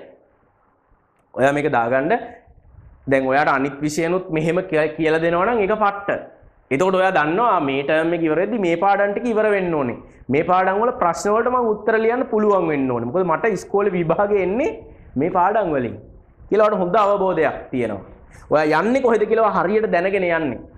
ඒක පට්ටනේ. හරි. රයිට් ඒ නිසා මෙන්න ටර්ම්ස් 6 ලියා ගන්නකො මුලින්. 12 13 ඔයාට A level වල ටර්ම් 6යි තියෙන්නේ. ඔය ටර්ම් 6න් පස්සේ ඔයා කැම්පස් යනවද නැද්ද කියන එක තීරණය වෙනවා. හරි? ඔය ටර්ම් හය ඉගෙනගෙන ඉවර වෙද්දී ඔයා කැම්පස් යනවද නැද්ද කියන එක ඉග තීරණය වෙනව. ඕ ලෙවල් වගේ සීනි බෝල විභාග නෙමේ මේවා. හරි? ඒ ලෙවල් කියන්නේ තරඟ විභාගයක්. ඕ ලෙවල් තරඟ විභාගයක් නෙමේ ඕ ලෙවල් වල තරඟයක් නැහැ හැමෝටම වුණත් ඒ නමේ දෙන්න පුළුවන්. හැබැයි ඒ ලෙවල් වල එහෙම නැහැ ලොකු තරඟයක් තියෙනවා. ඒ තරගෙන් ලක්ෂ 3ක් ලියද්දී 40000යි කැම්පස් යන්නේ. හරි? ලක්ෂ තුනක් ලියනකොට හතලිස් දාහයි කැම්පස් යන්නේ. හොද්දට මතක තියාගන්න එක. ඔය පන්ති පිරෙන්ඩ හිටියට ඔය පන්ති වලින් සියට පණහක් ෆේල් වෙනවා. ඒලෙවල් ෆේල් වෙනවා. මෙම ඒලෙවල් පාසුනා කියලා කැම්පස් යන්න බෑන පුතේ ලංකාවේ. ලංකාවේ කැම්පස්වල තියෙන පහසු ඉඩ ප්‍රමාණයත් එක්ක ඒලෙවල් හොඳම මේ ලකුණු වලින් හොඳම එකනේ රෑන්ක් වලින් ඒ දිස්ත්‍රික්කේ සමත් වෙන්න ඕනේ. එතකොට තමයි කැම්පස් යන්න පුළුවන්. හරි? ඒලෙවල් පාසෙන හැමෝම කැම්පස් යන්නේ නැහැ. ලංකාවේ මම කියන රජයේ විශ්වවිද්‍යාලවලට ඇතුළත් වෙන්න chance එක ලැබෙන්නේ ඒලෙවල් හොඳටම පාස් වෙන කට්ටියට. හොඳම රෑන්ක් වලට යන කට්ටියට. හරි. එහෙම හොඳ රෑන්ක් වලට යන්න නම් මේ ටර්ම්ස් 6 පට්ට කට්ට කාගෙන වැඩ කරන්න ඕන. ආතල් අරගෙන මේ වැඩේ කරන්න බෑ. අනිවාර්යෙන් ෆේ කෙල වෙලා යනවා. හරි. ආතල් ගන්න ගියොත් අනිවාර්යයෙන්ම කෙල වෙලා යනවා. ඉතින් ෂුවර් ඇන් ෂොට් හරි. මොකද මේක අමාරු විභාගයක්. තරඟ විභාගයක්. ඔයා O level විෂයන් 9ක් කරා කියලා A level විෂයන් 3 කියන එක ලේසියට ගන්න එපා ඈ. ඔයා O level විෂයන් 9ක් කරා කියලා ඔයාට අනේ මට මේක අරකේ මම 9ක් කරේ. මේ තුන මට කජ්ජක්ද? එහෙම ගන්න එපා. එහෙම අරන් මේක කරන්න බෑ. හරිද? ඔයා ඒ නමයටම ඉගෙන ගත්තු දේවල් වලට වැඩිය සමහරවිට මේ එක සබ්ජෙක්ට් එකක තියෙනවාට ඉගෙන ගන්න. හරි? හොඳට මතක තියාගන්න. ඒ O level කාලේ විෂයන් 9ම ඔයා ඉගෙන ගත්තුවට වැඩිය මේ A level වල එක සබ්ජෙක්ට් එකක සමහරවිට ඉගෙන ගන්න තියෙනවා. හරි ඒ නිසා මේක හරියට මුල ඉඳන් හරියට කරගෙන යන්න. හරිද? හරියට පන්ති තුනක් තෝරන්න. නැත්තම් ඉවරයි. ආයි කිසි කතාවක් නැහැ. මම මේක අද කියනවනේ සමහරවිට ඔයාලට අද මේක එච්චර තේරුමක් නැති වෙයි මම කියනවනේ හරියට පන්ති තුන තේරුම් නැත්නම් ඔයා ඉවරයි කියලා. මේක මම අද මේ කියන වාක්‍ය ඔයාලට ඕන පොතේ ලියා ගන්න හරියට පන්ති තුනක් තේරුම් නැත්නම් ඔක්කොම ඉවරයි කියලා. හරි? එහෙම ලියා ගන්න ඒක සමහරට අද ඔයාලට තේරෙන්නේ නැති වුණාට විභාගයට මාසයක් දෙකක් තියෙද්දි ඒ කියන්නේ ඔයා 2025 විභාගෙ ලියන කාලෙ වෙද්දි විභාගයට මාසයක් දෙකක් තියෙනකොට ඔයා ওই වාක්‍ය දැක්කොත් ඔයාට තේරෙයි මම මේ කියපු කතාව පට්ට ඇත්ත කියලා. හරි? ඔයා හරියට පන්ති තුනක් තේරුවේ නැත්තම් සබ්ජෙක්ට් තුනට ඔයා ඉවරයි. අනිවාර්යයි හරි? සල්ලි සෑහෙන ප්‍රමාණයක් පන්ති වලට වියදම් කරලා ඉවර වෙන්න ඕනේ නෑනේ ඒ නිසා හරියට පන්ති තුනක් තෝරන්න හරියට මුල ඉඳන් වැඩේ කරන් යන්න. ඔය දෙක කරන්නකො. එච්චරයි. මේක කැම්පස් යන්න පුළුවන් ඔයාට. හරි? හරියට පන්ති තුනක් තෝරලා හරියට මුල ඉඳන් වැඩ ටික කරගෙන යන්න. ඒ ලෙවල් කියන ආතල් එකක් නෙමෙයි. සර්ලා ආතල් දෙන්න දෙනවා නම් හරි පරිස්සමට. මොකද සර්ලා ආතල් දුන්නට ඒ ලෙවල් කියන්නේ ආතල් එකක් නෙමෙයි. ලක්ෂ තුනක් ලියනකොට හතලිස් දාහයි කැම්පස් එකට යන්න. හරිද? රයි් මේක දාගන්නකො. ටර්ම් සය මංවාට දැන් ඊළඟට කියල දෙනවා. මේ ටර්ම් එකෙන් ටර්ම් එකට SFT පාඩම් ටික මොනවද කියලා. මේ ටර්ම් එකේ මොනවද? එතකොට අර පාඩම් කලින් 25ක් අපි ලිව්වනේ. ඒ 25 ලස්සනට සමරයිස් වෙයි මේ ටර්ම්ස් ටිකට ගානට. හරිද?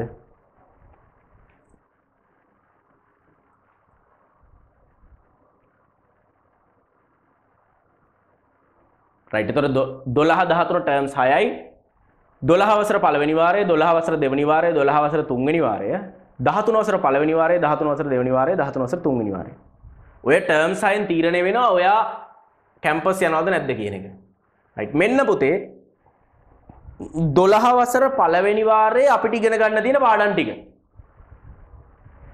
දොළහ වසර පළවෙනි වාරයේ අපිට ඉගෙන ගන්න තියෙන පාඩම් ටික තමයි මේ තියෙන්නේ. දැන් මෙතන මැත්ස් පාඩමක් තියෙනවා. මේ මේක මැත්ස් නේද? දැවට ඒව මතක් වෙනවා. මම අතන මැත්ස් ගොඩේ ලියපු පාඩම තමයි මුලින්ම. ඉගෙන පුතේ ඔයාලට පළවෙනි සිලබස් එකේ පළවෙනි පාඩම විදිහට ඉගෙන ගන්න තියෙන්නේ මැත්ස් පාඩම ඊළඟ මිනුම් උපකරණ. සිලබස් එකේ දෙවෙනි පාඩම විදිහට ඔයාලට ඉගෙන ගන්න තියෙන්නේ ෆිසික්ස් පාඩම හරි? ඊළඟට පයිතග්‍රස් සම්බන්ධය. සිලබස් එකේ තුන්වෙනි පාඩම විදිහට ඉගෙන ගන්න තියෙන මැත්ස් පාඩමක්. ඊළඟට සෛල සංවිධානය සහිත ජීවිතාක්ෂ අම්මන් සිලබස් එකේ හතරවෙනි පාඩම තමයි බයෝ පාඩම. ඔයාට දොළහවසර පළවෙනි ටර්ම් එකේදී අහුවෙනවා. හරිද? ඊළඟට බලය හා බලගූර්ණය. ඒතා හොඳම ෆිසික්ස් පාඩම. හරි?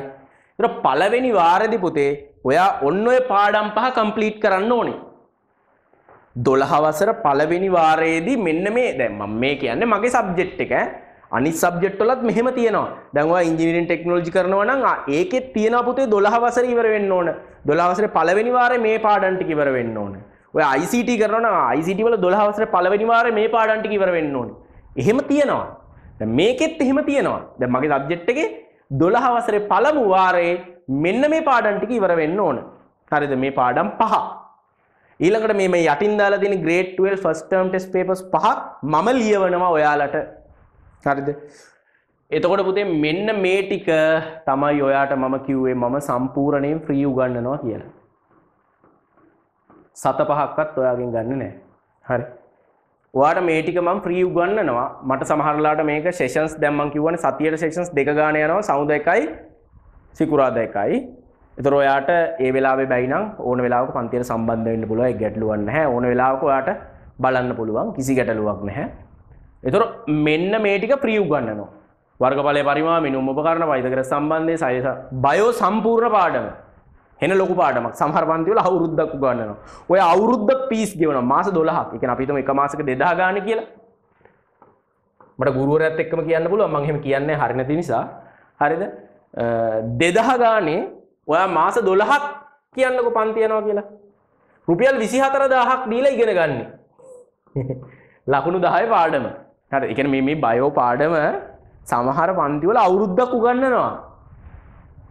මේක මේ මේක එච්චර ලොකුට උගන්නන්න දෙයක් නැහැ. ඒ පොතේ එහෙම උගන්නනවා හොඳට ඒ කියන්නේ බයෝ විතරක් පුළුවන් ගුරුවරු. හරි. එයාට ෆිසික්ස් උගන්නන්න එච්චර ඒවට හැකියාවක් නැහැ. ඌ එහෙම බැරි අය මේක උගන්නනවා. ඒතකොට ළමයාට මේවා ළමයාට කියලා දීලවත් නැහැ අඩුතරම සිලබස් එකේ මේ පාඩම් ටික පළවෙනි වාරේ මේ පාඩම් එහෙම නැහැ. සිලබස් එකේ උට පාඩම් 25ක් තියෙනවද කියලා ඌ දන්නේ නැහැ. ඌ හැමදාම පන්ති යනවා. හැබැයි හැමදාම බයෝ උගන්නනවා. ඒතකොට ඌට හිතෙනවා SFT කියන්නේ බයෝ විෂයක්ද කියලා.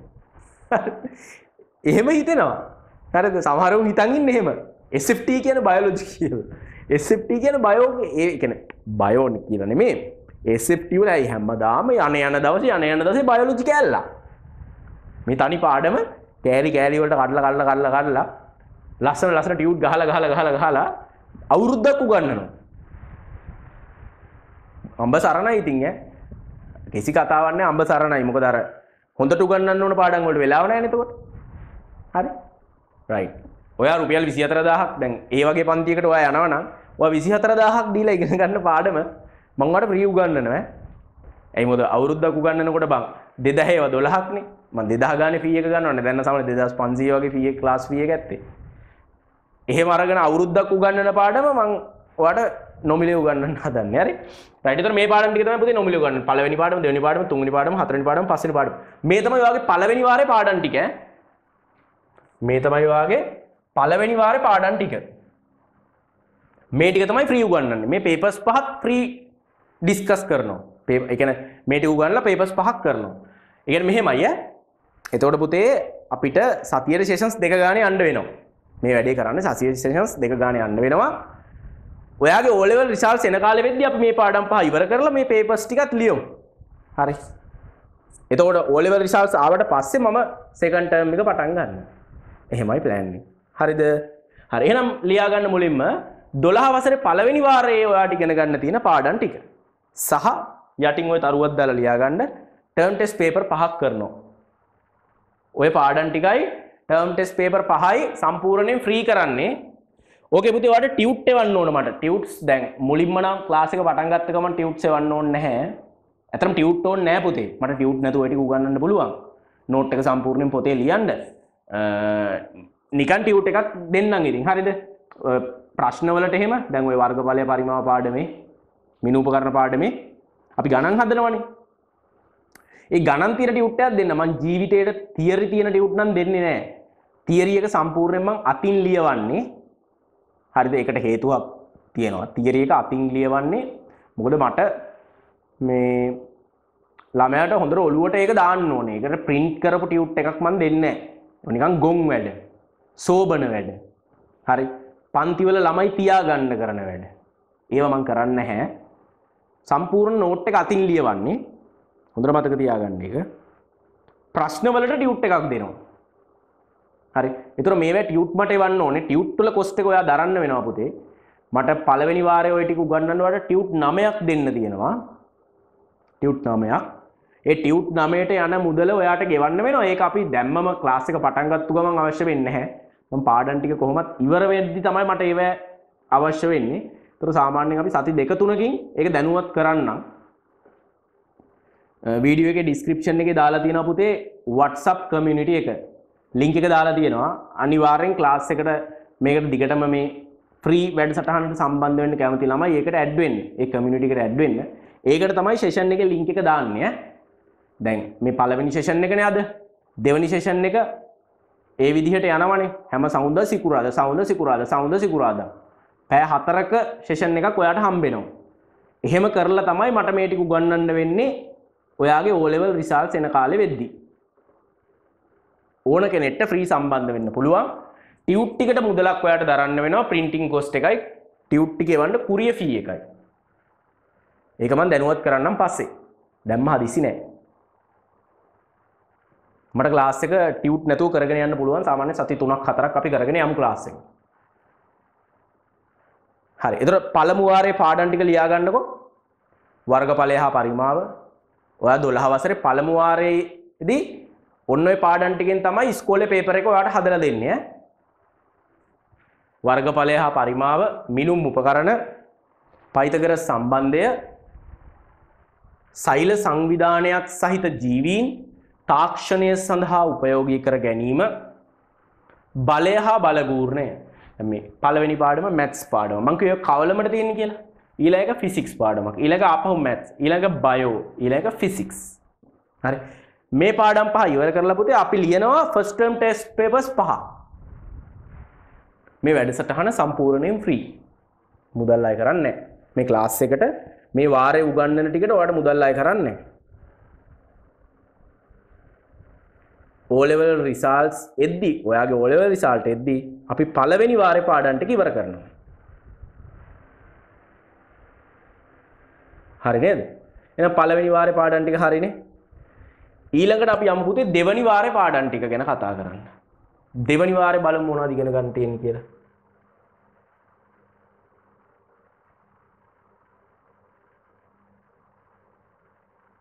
මෙන්න පුතේ දෙවනි වාරේ පාඩම් ටික 12 වසර දෙවනි වාරය. යාන්ත්‍රික ශක්තිය ෆිසික්ස් පාඩම, ත්‍රිකෝණමිතිය මැත්ස් පාඩම, භ්‍රමණ චලිතය ෆිසික්ස් පාඩම, විද්‍යුතය හා චුම්බකත්වය ෆිසික්ස් පාඩම. එතකොට පුතේ ඔයාලට 12 වසර දෙවනි වාරයේදී ඉගෙන ගන්න තියෙනවා මෙන්න මේ පාඩම් හතර. ඔය පාඩම් හතර දැන් මම පළවෙනි වාරේ විතරයි ෆ්‍රී උගන්වන්නේ. දෙවෙනි වාරේ ඉඳන් ටර්ම් එකට ෆී එකක් ගන්න.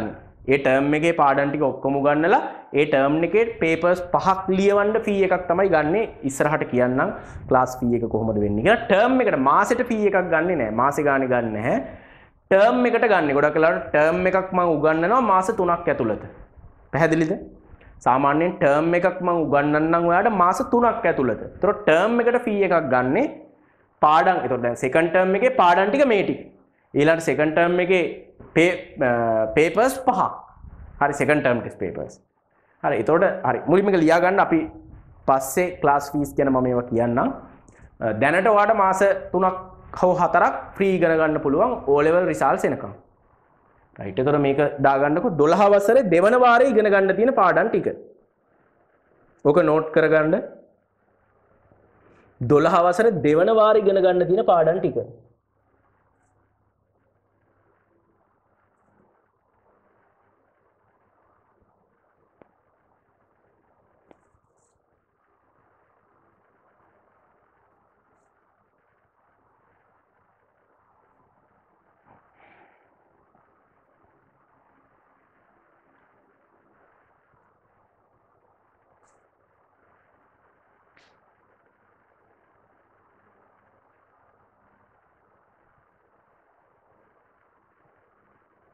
යාන්ත්‍රික ශක්තිය ත්‍රිකෝණ මිතිය බ්‍රමණ චලිතය විද්‍යුතය හා චුම්භකත්වය ඊට අමතරව grade 12 second term test paper පහකුත් අපි ඔයාට ලියවනවා.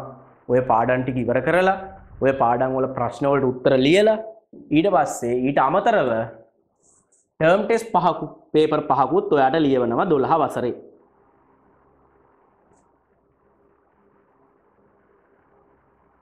එතන හොඳට මතක තියා ගන්න පොතේ ටර්ම් එකට ෆී එකක් තමයි ගෙවන්න වෙන්නේ. මාසෙන් මාස ෆීස් ගෙවන්න නෑ අපේ ක්ලාස් එකේ. එතකොට මේ 12 වසර සෙකන්ඩ් ටර්ම් එක. ඊළඟට අපි යමු. ලියාගත්ත නේද? ලියාගත්තේ නැත්නම් වීඩියෝ එක පොඩ්ඩක් නවත්තලා ලියාගන්න. ඊළඟට අපි යනවා පුතේ තර්ඩ් ටර්ම් එක බලමු 12 වසරේ. මෙන්න ඉගෙන ගන්න තියෙන පාඩම් ටික. 12 වසර තෙවන වාරය. ලියාගන්න 12 වසර තෙවන වාරය කියලා. තාප භෞතිකය පාඩම තාප රසායනය පාඩම චාලක රසායනය පාඩම ජෛව අනු පාඩම ඒ පාඩම් හතර ඉවර කරලා grade 12 third term test papers පහක් ඔයාට ලියවනවා. ඒවා ඩිස්කෂන් සුත් දෙන නෑ ඒවා ඩිස්කස් කරලා වැරදි අඩුපාඩු බලලා ඒ හැමදේම කරලා දෙනවා තෙවන වාරය. ඔය තියෙන තෙවන වාරයේ පාඩම් ටික. හරිද? සිලබස් එකේ පාඩම් දහ තුනක් ඉවර වෙනවා පුතේ ඔයා දොළහ වසරෙන් දහ තුනට යද්දි. වගේ දොළහ වසර ඉවර වෙනකොට සිලබස් එකේ පාඩම් දහ තුනක් ඉවරයි.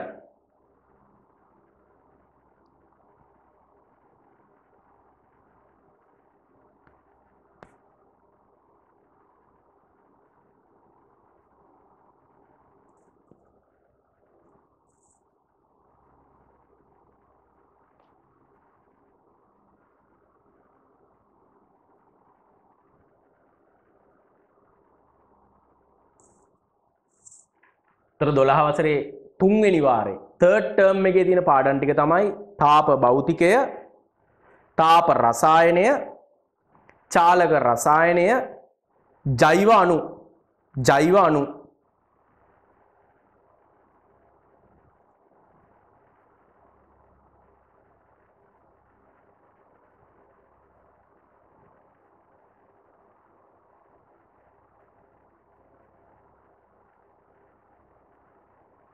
ඊට පස්සේ අපි යමු පුතේ 13 වසරේ පළවෙනි වාරය. මේ ඉතින් 13 පළවෙනි වාරේ උගන්වන්න තියෙන පාඩම් ටික. ඔන්න කෙමිස්ට්‍රි තියෙනවා. බහු අතන ජෛවණු තිබ්බා. දැන් මෙතනත් කෙමිස්ට්‍රි පාඩම. බහු අවයවික ප්‍රත්‍යස්තතාවය ඒක ෆිසික්ස්, තරලය ෆිසික්ස් පාඩම, කර්මාන්ත රසායනය කෙමිස්ට්‍රි පාඩම, ස්වභාව නිෂ්පාදන කෙමිස්ට්‍රි පාඩම. ඔය පාඩම් පහ උගන්නන්න තියෙන දහතුන වසරේ පළවෙනි වාරයේ. පළවෙනි වාරයේ. ඊට අමතරව දහතුන වසරේ පළවෙනි වාර විභාග ප්‍රශ්න පත්‍ර. අපි ඔය පළාත් ප්‍රශ්න පත්‍ර තමයි උතනදි කරන්නේ. ඒ කියන්නේ දකුණු පළාතේ වයඹ පළාතේ බස්නාහිර වෙන්න පුළුවන්. පළාත් පේපර්ස් පහක් ඔයාට ලියවලා ඩිස්කස් කරලා දෙනවා. ඔය ටර්ම් එක ඉවර වෙද්දි. හරි. ඔයාලා පුතේ අපි 13 පළමු වාරය අපි ප්ලෑන් කරන් ඉන්න ඔය විදිහට ඔන්න ඔය පාඩම් ටික තමයි ඔයා ඉගෙන ගන්න ඕන ඔයාට අපි අවසානයේ පේපර්ස් පහකුත් කරලා දෙනවා රයිට් ඔයාට ලියා ගන්නකෝ 13 පළමු වාරයේ උගන්වන්න තියෙන පාඩම් ටික මම මේ සිලබස් එක හොඳට ස්ටඩි කරලා තමයි ඔයාලට මේක පිළිවෙලට මේ කියලා දෙන්නේ ඈ. මොකද විෂය ඉගෙන ගන්න කලින් විෂය බැක්ග්‍රවුන්ඩ් එක දැනගෙන ඉන්න ඕන හොඳට. හරි. එතකොට පුතේ කවදාකවත් ඔයාට වරදින්නේ නැහැ. මගේ වගේ මගේ SFT වගේම අනිත් සබ්ජෙක්ටුත් එහෙම කරන්න ගුරුවරයා එහෙම කරලා දෙන්නේ නැත්නම් ඔයා යන පන්තියේ ගුරුවරයා හරි ඔයාගේ ඉස්කෝලේ ගුරු එහෙම කරලා දෙන්නේ නැත්නම් ඔයා ඒක හොයාගන්න. හරි? සිලබස් එක ගන්න ඩවුන්ලෝඩ් කරන්න පුළුවන්. ටීචර්ස් ගයිඩ් එක ඩවුන්ලෝඩ් කරන්න පුළුවන්. ඔයා Google එකේ සර්ච් කරොත් සිලබස් ටීචර්ස් ගයිඩ් ඔක්කොම ඩවුන්ලෝඩ් කරගන්න පුළුවන්. ඒවෙන් ඔයා හොයාගන්න මොනවද ඉගෙන ගන්න තියෙන්නේ කියලා. හරි? දැන් මම ඔයාට ලේසි කරලා දෙනවා. මම ඔයාට ඔක්කොම ටික කියලා දෙනවා. මෙන්න පාඩම් 25 මේ වාරේ මේ ටික මේ වාරේ මේ ටික මේ වාරේ මේ ටික. ওই විදිහට 12 වසරේ මේ පාඩම් ටික ඉවර වෙනවා. 13 පළවෙනි වාරේ මේ තියෙන්නේ. මම ඔයාට ඒක ලේසි කරලා දෙනවා. දැන් ඔයාගේ ඔයා යන පන්ති එහෙම ලේසි කරලා දෙන්නේ නැත්නම් ඔයා ඒවා හොයලා බලන්න. ඔයා ඒවා හොයලා ඉගෙන ගන්න. රයිට් ඔය ටික දාගන්නකො. 12 වසර පළවෙනි වාරේ ඉගෙන ගන්න තියෙන ටික.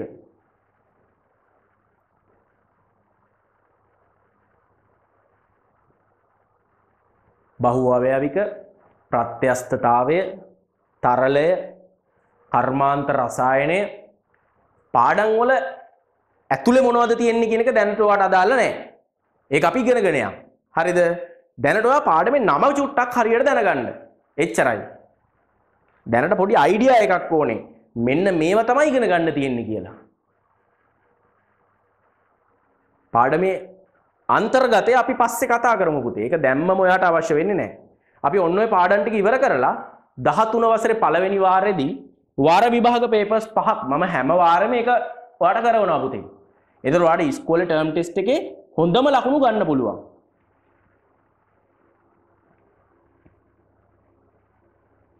ඒක මම ඇත්තටම ප්ලෑන් කරලා තියෙන ඒ අරමුණෙන්. ඉස්කෝලේ වාර විභාගෙදී හොඳම ලකුණු ගන්න ළමයි ටිකක් හදා ගන්න ඕනේ. එතකොට පුතේ යාට කොහොමත් ඒ ලෙවල් වල හොඳ ලකුණක් එනවා. ඒ නිසා. ඉස්කෝල ටිකේ ඉස්කෝලේ වාර විභාග හරියට ලියන්න නම් හරියට පාඩම් ටික කවර් වෙලා තියෙන්න ඕනේ. එහෙම නැති ළමයිට ඉස්කෝලේ වාර විභාග හරියට ලියන්න බෑ. ඒ නිසා අපි හරියට අදාළ වාරයට අදාළ පාඩම් ටික කවර් කරන් යනවා පුතේ. රජයෙන් කියලා තියෙන විදිහට අදාළ වාරයට අදාළ පාඩම් ටික. ඒතකොට පුතේ මම හැමතිස්සෙම ඔයාගේ ඉස්කෝලේට වැඩිය එක ටර්ම් එකක් ඉස්සරහැන් යන්නේ. හරි? මම හැම වෙලේම ඔයාගේ පාසලට වඩා ඉස්කෝලේට වැඩිය එක ටර්ම් එකක් හෝ ටර්ම් දෙකක් ඉස්සරහැන් යන්නේ ඈ. ඒක හොඳට මතක තියාගන්න. මොකද අපි O level results එද්දි පළවෙනි ටර්ම් එක ඉවරයි. ඊළඟට අපි සෙකන්ඩ් ටර්ම් එක පටන් ගන්නවා O level results ආවට පස්සේ.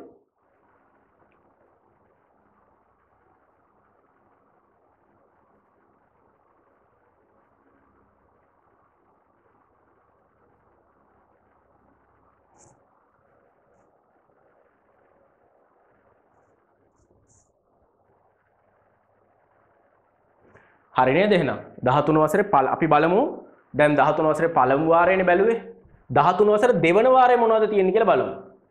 රයිට් මෙන්න තියෙනවා පුතේ 13 වසර දෙවනි වාරේ. අන්න කණ්ඩාංක ජ්‍යාමිතිය පාඩමයි සංඛ්‍යානය පාඩමයි තියෙනවා. මැත්ස් පාඩම් දෙකක් තිබ්බේ. 13 වසරේදී ඉගෙන ගන්නවා මේ දෙක ඔන්න 13 වසරේ දෙවනි වාරයේ තියෙන ඔන්න ඊළඟට IT පාඩම් දෙකකුත් තියෙනවා.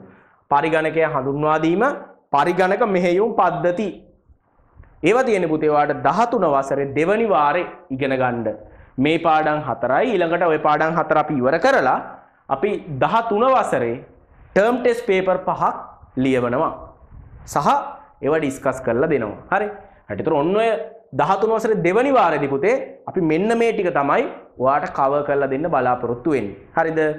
මේ ටික තමයි රජයෙන් ඔයාට කවර් කරලා කවර් කරන්න තියෙන පාඩම් ටිකත් ওই ටිකම තමයි. හරිද? ඒතර ඒ කියලා තියෙන විදිහට යනවා අපි ස්කෝලට වැඩිය බොහෝ වෙලාවට ටර්ම් එකක් නෙමෙයි ටර්ම් දෙකක් විතර ඉස්සරහින් යයි. ඒ කියන්නේ ඉස්කෝලේ පළවෙනි ටර්ම් එක පටන් ගන්නකොට සමහරවිට ඔයා පළවෙනි ටර්ම් එකත් ඉවරයි අපේ ක්ලාස් එකේ ඉගෙනගෙන දෙවෙනි ටර්ම් එකත් ඉගෙනගෙන ඉවරයි. ඒ වගේ තැනක ඉඳී ඔයා බොහෝ දුරට. හරි. හොඳට මතක තියාගන්න. අපි ගොඩක් වෙලාවට අපි බලමු ඉස්කෝලේට වඩා ටර්ම් දෙකක් ඉස්සරහින් යන්න. මොකද අවසානයේට මට ෆුල් පේපර්ස් ඩිස්කස් කරන්න ඒ වැඩ ගොඩක් තියෙනවා. ඒවට මට වෙලාව තියාගන්න ඕන. ඒ නිසා අපි ටර්ම් දෙකක් ඉස්සරහෙන් යන්න බලමු ඉස්කෝලේට වඩා. රයිට්. ඔන්න ඔය ටික ලියා ගන්නකො පුතේ 13 දෙවනි වාරයේදී උගන්වන පාඩම් ටික 13 දෙවනි වාරයේදී උගන්වන පාඩම් ටික තව එතකොට අපිට තියෙන එක වාරයයි 13 තුන්වෙනි වාරෙන් ඔයාගේ සිලබස් එක ඉවර වෙලා ඔයා ඒ ලෙවල් වලට මුහුණ දෙන්න යනවා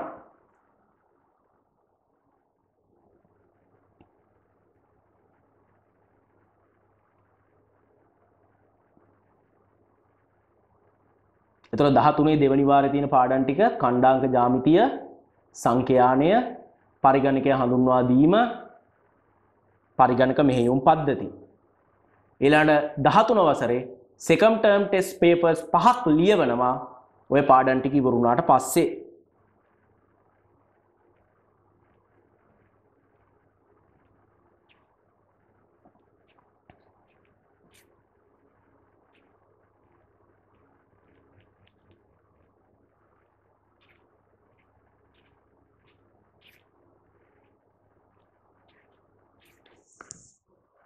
රයිට් අපි බලමු ඊට පස්සේ පුතේ එහෙනම් 13 අවසන් වාරේ ඔයාට අන්තිමට ඉගෙන ගන්න තියෙන්නේ මොනවද කියලා. රයිට්. අන්තිමට ඔයාට ඉගෙන ගන්න තියෙන්නේ පුතේ මෙන්න මේ ටික. යෙදුම් මුදුකාංග භාවිතය IT පාඩමක්.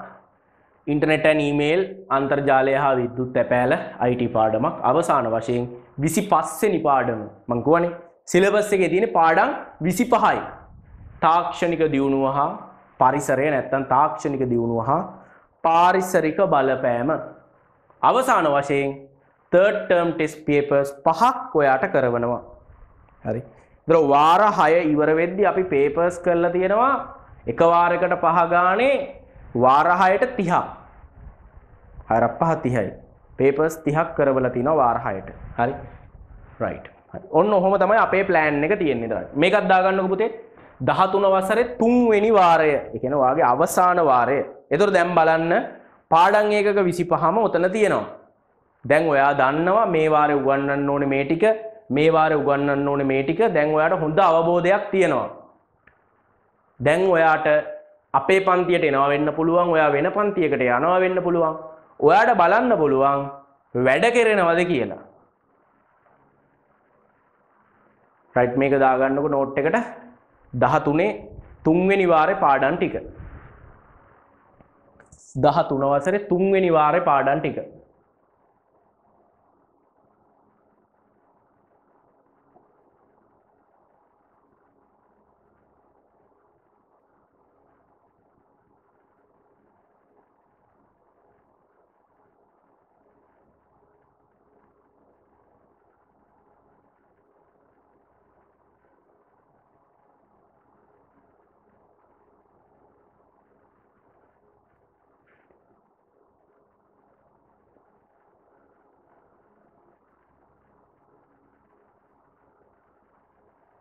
යෙදුම් මුදුකාංග භාවිතය අන්තර්ජාලය හා විද්‍යුත් තැපෑල තාක්ෂණික දියුණුව හා පරිසරය. රයිට් ඔය පාඩන් තුනත් එක්ක grade 13 third term test papers පහක් ඔයාට කරලා දෙනවා. හරි. රයිට් හරි. දැන් ඔයාලට පැහැදිලි නේද වැඩේ? හරි. ඔන්න පුතේ ටර්ම්ස් 6ම කියලා දුන්නේ. ටර්ම්ස් ටර්ම්ස් 6ක් තියෙනවා කිව්වා ඔයාට. 12 ටර්ම් 3යි 13 ටර්ම් 3යි දොළහ ටර්ම්ස් වල මොනවද උගන්වන්න ඕනි කියලා කිව්වා. 12 පළවෙනි වාරේ කතා කරන ටික කිව්වා. ඊළඟට 12 දෙවෙනි වාරේ උගන්වන්න ඕන පාඩම් ටික. ඊළඟට 12 තුන්වෙනි වාරේ පාඩම් ටික. 13 පළවෙනි වාරේ පාඩම් ටික. 13 දෙවෙනි වාරේ පාඩම් ටික. 13 තුන්වෙනි වාරේ පාඩම් ටික. රයිට් ඔන්න ඔය විදිහට අපි ඔය ටික හරියට පිළිවෙලට කරගෙන යනවා. ඒ වගේම හැම වාරෙම ටර්ම් ටෙස් පේපර්ස් පහක් කරනවා. එතකොට ඔයාට අවසන් වෙද්දි පේපර්ස් 30ක් ඔයා ගාව එකතු වෙලා. හරිද? කියන්නේ මේ වාර හය ඉවර වෙනකොට පේපර්ස් 30ක් ඔයා ගාව අවසානයේට එකතු වෙලා තියෙනවා. හරි. රයිට් දැන් පැහැදිලිනේ වැඩේ? හරි. රයිට් ඊළඟට අපි SFT පේපර් එකේ ස්ට්‍රක්චර් එක ගැන කතා කරන්න ඕනේ. රයිට් ඒක කතා කරන්න කලින් හරි. මෙන්න පුතේ ක්ලාස් ෆී එක කොහොමද ගෙවන්න ඕනේ කියන එක තමයි මේකේ තියෙන්නේ. දැනට ඔයා මුකුත් ගෙවන්න ඕන නැහැ. ඔයාට ඕලෙවල් රිසල්ස් එන දවස වෙනකම් ඕලෙවල් රිසල්ස් එන ඒ මාසේ වෙනකම් ඔයාට අපිත් එක්ක සම්පූර්ණයෙන්ම ෆ්‍රී හරිද? කිසිදු මුදලක් ගෙවන්න නැතුව වැඩ ටික කරගෙන යන්න පුළුවන්. හරි. එතනින් එහාට පුතේ අපි මාසෙට නෙමේ ෆී එක ගන්න ටර්ම් එකට ෆී එක ගන්න. එක ටර්ම් එකකට ෆී එක 5000යි. එතකොට ටියුට් වලට යන කොස්ට් එක ඔක්කොම මෙතන ඉන්ක්ලූඩඩ් ඈ. දැන් සාමාන්‍යයෙන් පුතේ එක ටර්ම් එකක් අපි උගන්වන්නේ මාස 3යි. එතකොට ඇත්තටම මෙතන මේ 5000 කියලා කියන්නේ මාස 3ක ෆී එක තමයි ඔය. හරි. දැන් සාමාන්‍යයෙන් දැන් මේ දවස්වල ෆිසිකල් ක්ලාස් එකක 2000 හෝ 2500 තමයි ෆී එක යන්නේ. එතකොට මාස 3ක් උගන්වනකොට සාමාන්‍යයෙන් 7500ක් විතර යනවා ඔයාට ෆී එක. තියරි ක්ලාස් එකට විතරක්. අපේ තියරි රිවිෂන් දෙකක් නෑ. එක පන්තියෙන් ඔයාට ඔක්කොම වැඩ ටික කරනවා. හරිද? රිවිෂන් එකත් මේකෙම අපි කරලා දෙනවා. හරි. එතකොට පළවෙනි ටර්ම් එකකින් ඔයාට සල්ලි ගන්නේ නැහැ. ඔයාට සම්පූර්ණයෙන් ෆ්‍රී කරගෙන යන්න පුළුවන්. එතනින් එහාට ටර්ම් එකට ෆී එකක් ගෙවන්න ඕන. එතකොට ඒ ටර්ම් එකට අදාළ පාඩම් ටිකේ ඔක්කොම ටියුට් ටික එකපාරේ එවනවා පුතේ. නැත්නම් ඕක මට පුතේ මාසෙන් මාසෙ ඔයාලට මේක දැන් අපි ඔන්ලයින් ක්ලාස් එකක් විදිහටනේ කරන්නේ. ඒතර අපි ටියුට් ටික ඔයාලට කුරියර් සර්විස් එකකින් තමයි එවන්නේ. එතකොට පුතේ ඕක මට මාසෙන් මාසෙ එවන එක ටිකක් කරදරයි. ඊට වඩා මට ලේසි ටර්ම් එකේම පාඩම් ටික ඔක්කොම අපි ඩිස්කස් කරන ටියුට් ටික ඒ අදාළ ස්ටඩි මැටීරියල්ස් ටික ඔක්කොම මට එකපාර ඔයාට එවන්න පුළුවන් නම් ලේසි. ඒ නිසා තමයි මේක මේ විදිහට මේ ප්‍රෝග්‍රෑම් එක හදලා තියෙන්නේ. ඒතර දැන් අපි සෙකන්ඩ් ටර්ම් එක ගමුකෝ. ඔයා ෆී එක දැම්මට පස්සේ ඔයාට ඒක ඒ මා ඒ ටර්ම් එකේ උගන්වන පාඩම් ටික අර කලින් අපි කතා කරේ. ඒ පාඩම් ටිකට අදාළ ඔක්කොම ස්ටඩි මැටීරියල්ස් ටික ඔයාගේ අතට ලැබෙනවා. හරිද? ඊට පස්සේ ඒ ටර්ම් එකේ පාඩම් ටික අපි ලස්සනට ඉවර කරගෙන යනවා. ඊළඟට අපි අර පේපර්ස් පහක් කරනෝනේ හැම ටර්ම් එකක් ඉවර වෙද්දිම. ඒ පේපර්ස් පහත් පුතේ print කරලා ඔයාට එවලා තියෙන්නේ. එතකොට වැඩ ටික ඉවර වුණා. පේපර්ස් ටික ඔයාට ටයිම් තියලා ලියන්න තියෙන්නේ. ඒ ලියලා ඉවර වුණාට පස්සේ පේපර්ස් ටික ඩිස්කස් කරනවා. එහෙම තමයි වැඩේ වෙන්නේ. හරිද? එතකොට පළවෙනි වාරේ අර පාඩම් පහයි පේපර්ස් ටිකයි ඔක්කොම ෆ්‍රී කරගෙන යනවා ඔයාගෙන් සල්ලි ගන්නේ නැතුව. හරිද? හැබැයි එතනින් එහාට සෙකන්ඩ් ටර්ම් එකේ පාඩම් ටිකට තර්ඩ් ටර්ම් එකේ මේ විදිහට ඒ ටර්ම් එකට ෆී එකක් තමයි ගන්නෙ මාසෙන් මාසෙට ගන්නෙ නෑ ෆීස්. හරි? ටර්ම් එකට ෆී එක ගත්තා. ඒ ටර්ම් එකට අදාළ ටියුට් ටික ඔක්කොම එකපාර එව්වා. ඒ කියන්නේ පාඩම් හතරක්ද පහක්ද තියෙන ඒ ටික ඔක්කොම ටියුට් ටික එකපාර එව්වා. ඒට අදාළ පේපර්ස් ටිකත් ඔක්කොම එකපාර එව්වා. ඊට පස්සේ තියෙන අපිට වැඩ ටික කරගෙන යන්න. හරි? රයිට්. ඔන්න ඔහොමයි වැඩේ වෙන්නේ. ඔන්න ඔහොමයි පුතේ ක්ලාස් ෆී එක ගෙවන්න ඕනේ. හරිද? එතකොට මේකේ මොකුත් ඔයා ගෙවන්න ඕනේද නැහැ. පළවෙනි මොකුත් ගෙවන්න ඕනේ නැහැ. අපි අර ටියුට් 9ක් එවන්න දෙනවා. පළවෙනි ටර්ම් එකේ ඔයාලට මට එවන්න දෙනවා ටියුට් 9ක්. හරිද? ඒ ටියුට් 9 එවන්න මම දැම්මම අවශ්‍ය නැහැ. මම ඒ කියන්නම් සාමාන්‍යයෙන් මට printing cost එක එයයි රුපියල් 1500ට වඩා අඩුවෙන්. හරි? ටියුට් 9ටම. ටියුට් 9යි papers ටිකට. හරි? එතුර ඒවගේ කොස්ට එකක් යයි වාට පලවෙනි ටර්ම එක ඒටික ගණ්ඩ ස්ටඩි මටරියල්ස් ටික එක දැම්ම ගෙවන්න ඔන්න මොකද මුලින් අපිට ටියුට් මුකුත් ඕන්න අපිට මේක සති තුන හතරක් උගන්නගෙන යන්න පුළුවන්. අවුලක් නෑ. නිසා දැනට ඒව මුකුත් ඕන්න දැනටවා සම්පූර්ණය ෆ්‍රී සම්බන්ධ වෙන්න. හරි? පුතේ මේ දැනට මුකුත් ෆීස් ගෙවන්න ඕන්න හරි දැනට ෆ්‍රී සම්බන්ධ වෙන්න පුළුවන්. පලවෙනි මාස හතරම ෆ්‍රී තමයි ක්ලාස් එක යන්න. හරි දෙ කියන පලවෙනි ටර්ම එක ඉවර වෙනකම්ම ෆ්‍රී තමයි යන්න ක්ලාස් එක. හරි? වීඩියෝ එක ඩිස්ක්‍රප්ෂන් එක දාලා තියෙනවා පුතේ. වීඩියෝ එක ඩිස්ක්‍රප්ෂන් එක දාලා තියෙනවා මේ වටසප් කමියනිටි එක ලිංක් එක. හරිද? ඒක ඒ කමියනිටික ඇඩ්වෙන්න මොද ඒකට අපි දැන් අද ශේෂන් වන්නේ ඊළඟ ශේෂන් 2 එක නැත්තම් ඩේ 2 එක. හරි එතකොට ඊළඟට ඔය විදිහට යනවනේ ක්ලාස් එක.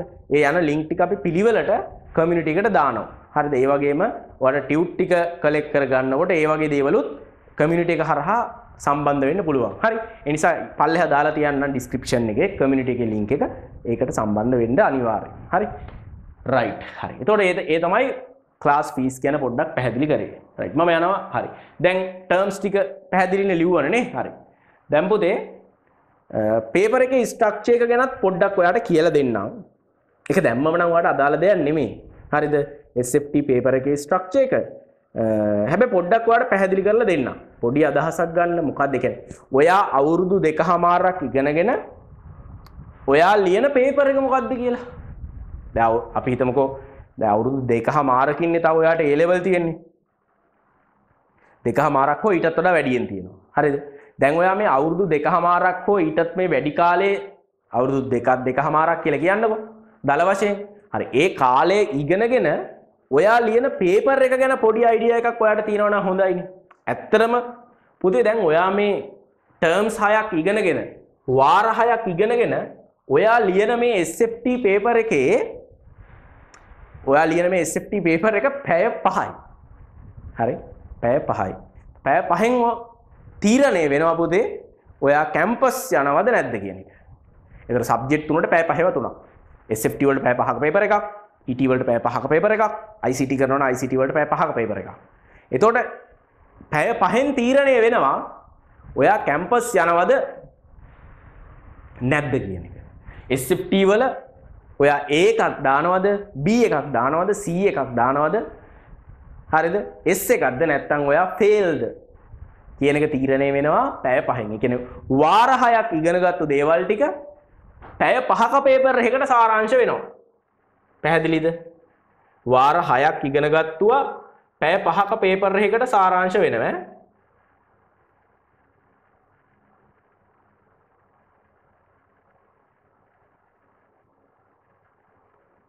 වාර හයක් ඉගෙන ගත්තු ටික පැය පහක පේපර් එකකට සාරාංශ වෙනවා. එතන පුතේ සාමාන්‍යයෙන් මේ මුලින්ම ලියාගන්න SFT paper structure එක.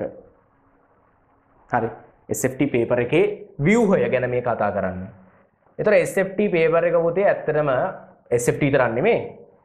මේ අනිත් සබ්ජෙක්ට් වලත් paper එක පැය පහයි. පැය පහයි.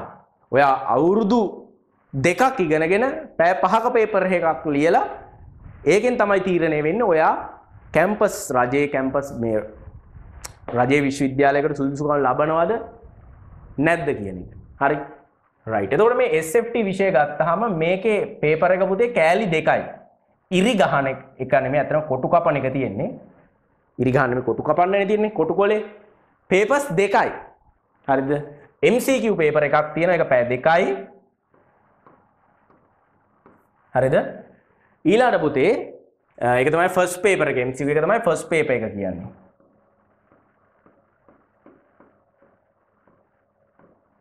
හරිද? ඒක තමයි ෆස්ට් පේපර් එක MCQ එක. ඊළඟ පුතේ සෙකන්ඩ් පේපර් එක තියෙනවා.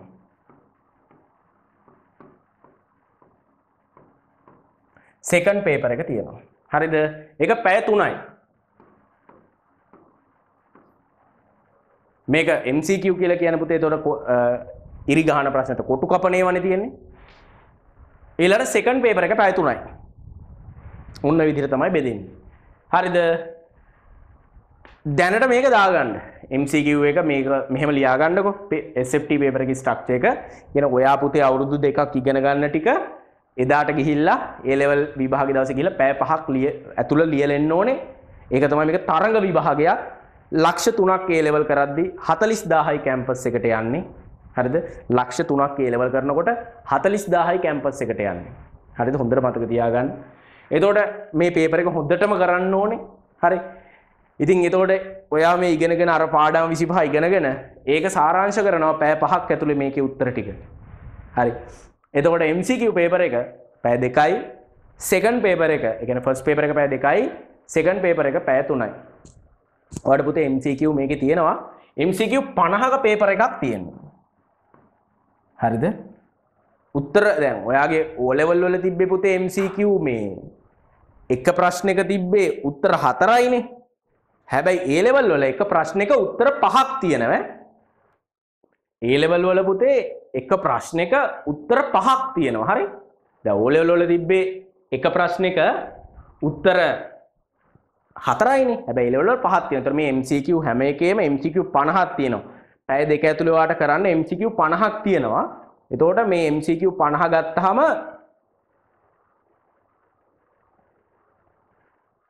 උත්තර පහ ගානේ තියෙනවා හැම ප්‍රශ්නෙම. හරිද?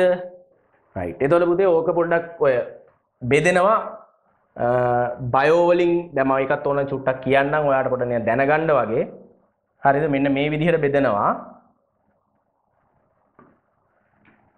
බයෝ ප්‍රශ්න පහයි. බයෝ MCQ තියෙන්නේ පහයි. ඊළඟ පුතේ IT MCQ 10යි. හරි. ඊළඟ අර මං කිව්වේ කොටස් වලට බෙදනවනේ මැත්ස් ඒවා 10ක් තියෙනවා. ඊළඟ පුතේ වැඩිපුරම තියෙන්නේ physics and chemistry. physics MCQ 12යි. chemistry MCQ තියෙනවා 13ක්. 13ක්. හරි. ඔන්න ඔය විදිහට තමයි පුතේ පේපර් එක කොටස් වලට කැඩෙන්නේ. බයෝ ඒ කියන්නේ MCQ පේපර් එකේ දැන් ඒ කියන්නේ ඔය විදිහටම දෙන්නේ ඔය විදිහටම තමයි එන්නේ බයෝ MCQ 5යි IT MCQ 10යි maths ඒවා 10යි physics 12යි chemistry 13යි ඔක්කොම 50යි හරි ඔක්කොම 50යි එතකොට වැඩිපුර තියෙන්නේ physics MCQ සහ chemistry MCQ නේ වැඩිපුර තියෙන්නේ physics MCQ සහ chemistry MCQ ඉතින් ඔන්න ඔහොමයි පුතේ ෆස්ට් පේපර් එක කැඩෙන්නේ පැය දෙකක් ඇතුලේ ඔය ටික කරන්න ඕන. උතර බයෝ ප්‍රශ්න 5යි. IT 10යි. maths 10යි. physics 12යි. chemistry 13යි. හරි. මම මේක නිකන් කියලා දෙන්නේ. ඔයාලට මේක තාම තේරුමක් නැහැනේ. ඔයා මේක ලියා ගන්න. ඔයාලට පස්සේ දවසක මේක පට්ට වැදගත් වෙනවා. හරිද? මේ පේපර් එකේ ස්ට්‍රක්චර් එක මාර වැදගත් වෙනවා පස්සේ දවසක. හරි. ඊළඟට පුතේ සෙකන්ඩ් පේපර් එක බැලුවාම මේක කෑලි දෙකයි. අපි කියනවා structured essay questions. හරි? ඊළඟට essay essay questions. හරි? මේ structured essay එක කියන්නේ පුතේ හිස්තැන් තියලා දීලා තියෙනවා. ඒ කියන්නේ ප්‍රශ්නය අහනවා හිස්තැන් තියෙනවා. හිස්තැනේ උත්තර ලියන්න යන්න තියෙනවා. පේපර් එකේම උත්තර ලියන්න තියෙනවා. හරි. ප්‍රශ්නය අහනවා හිස්තැනක් තියලා තියෙනවා. හිස්තැනට අදාළ උත්තර ලියන්න යන්න තියෙනවා. හරි. ඒතර structured essay එක ඒක structured essay questions තියෙන්නේ essay questions තියෙන්නේ ඊළඟ එක. ඒතර structured එක සාමාන්‍යයෙන් අපි පැයෙන් වගේ තමයි ලියන්න ටාගට් කරන් යන්නේ. essay ටික අපි ලියන්න ටාගට් කරනවා පැය දෙකකින්. ඒතකොට තමයි පැය 3 හැදෙන්නේ ඈ. ඔහොම තමයි කාලය බෙදාගන්න. හරිද? කාලය බෙදාගන්න ඔන්න ඔය විදිහට. රයිට්. එතකොට දැන් essay වල පුතේ දැන් මේකෙත් මේක චූට්ටක් කියන්න මෙතන essay වල ප්‍රශ්න 6ක් දීලා 6න් 4ක් ලියන්න තියෙන්නේ. ප්‍රශ්න 6ක් දෙනවා essay වල 6න් 4ක් තමයි අපිට ලියන්න තියෙන්නේ. ඒ කියන්නේ maths ප්‍රශ්න දෙකයි හරිද? ෆිසික්ස් ප්‍රශ්න දෙකයි කෙමිස්ට්‍රි ප්‍රශ්න දෙකයි. ඔන්න ඔය විදිහට තියෙන්නේ. එතන එතන බයෝ තියෙනවද නැහැ? එතන බයොලොජි නැහැ. එතන IT ප්‍රශ්න නේද නැහැ. ඉන්නේ නැකුත් නෑම තමයි ඉතින් ආයේ. එතන තියෙන්නේ පුතේ maths අර ඒ කියන්නේ මං කිව්වේ වැඩි බරක් තියෙන්නේ maths වලටයි chemistry වලටයි physics වලටයි. subject එකේ වැඩි බරක් තියෙන්නේ maths කොටසටයි මේ physics නැත්තම් භෞතික විද්‍යාව කොටසටයි chemistry නැත්තම් රසායන විද්‍යාව කොටසටයි. මොකද ඒවෙන් තමයි රචනා ප්‍රශ්න එන්නේ. ආයි මේ මේ බයෝ වලින් රචනා ප්‍රශ්න එන්නේ නැහැ. IT වලින් රචනා ප්‍රශ්න එන්නේ නැහැ. හරි? හොඳට දැනගන්න. ඔයා දැන් ඔයාට මේක එච්චර බරපතලක් තේරෙන්නේ නැති වුණාට ඔයා A level ලියන දවස වෙද්දී මේක පට්ට වටිනවා. හරි? මේ පේපර් එකේ ස්ට්‍රක්චර් එක මාර වැදගත්, මාර ඉම්පෝටන්ට්. හරි? මාර වටිනවා. ඒක හොඳට මතක තියාගන්න. ඊළඟ පුතේ ස්ට්‍රක්චර්ඩ් එකෙත් කොහොමයි? ස්ට්‍රක්චර්ඩ් එකෙත් එක බයෝ ප්‍රශ්නයක් එනවා. ස්ට්‍රක්චර්ඩ් එකේ එක බයෝ ප්‍රශ්නයයි කෙමිස්ට්‍රි ෆිසික්ස් කෙමිස්ට්‍රි වලින් තමයි ඉතුරු ප්‍රශ්න ටික හැදෙන්නේ. මම ඒක ලියන්න යන්නේ නැහැ මේ වෙලාවේ. හරි? එහෙමයි හැදෙන්නේ. එතකොට ඔන්න ඔහොමයි පුතේ පේපර් එකේ ස්ට්‍රක්චර් එක. දැනට ඔයා කොහොම ලියා ගන්න. හරිද? SFT ඔයා අවුරුදු දෙකක් ඉගෙනගෙන ලියන පේපර් එක පැය 5යි.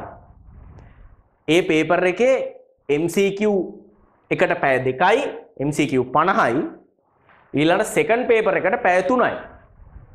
ෆස්ට් MCQ 50 මෙන්න මේ විදිහට තමයි එන්නේ බයෝ MCQ 5යි IT MCQ 10යි maths MCQ 10යි physics 12යි chemistry 13යි. සෙකන්ඩ් පේපර් එකක් බෙදනවා ස්ට්‍රක්චර්ඩ් essay. සිංහලෙන් කියන්නේ ව්‍යුහගත රචනා. මේකට කියන බහුවරණ. MCQ බහුවරණ. ස්ට්‍රක්චර්ඩ් essay කියන්නේ ව්‍යුහගත රචනා ප්‍රශ්න. essay කියන්නේ රචනා ප්‍රශ්න. හරි. ඔන්න ඔය විදිහට තමයි ඔයාගේ පේපර් එක අවුරුදු දෙකක් ඉගෙනගෙන ඔයා ලියන පේපර් එකේ ස්ට්‍රක්චර් එක. ඕකත් නෝට් කරගන්නකො පුතේ ඕකත් නෝට් ඩවුන් කරගන්නකො. ඕකත් නෝට් ඩවුන් කරගන්න සම්පූර්ණයෙන්ම. දල වශයෙන් දාගන්න.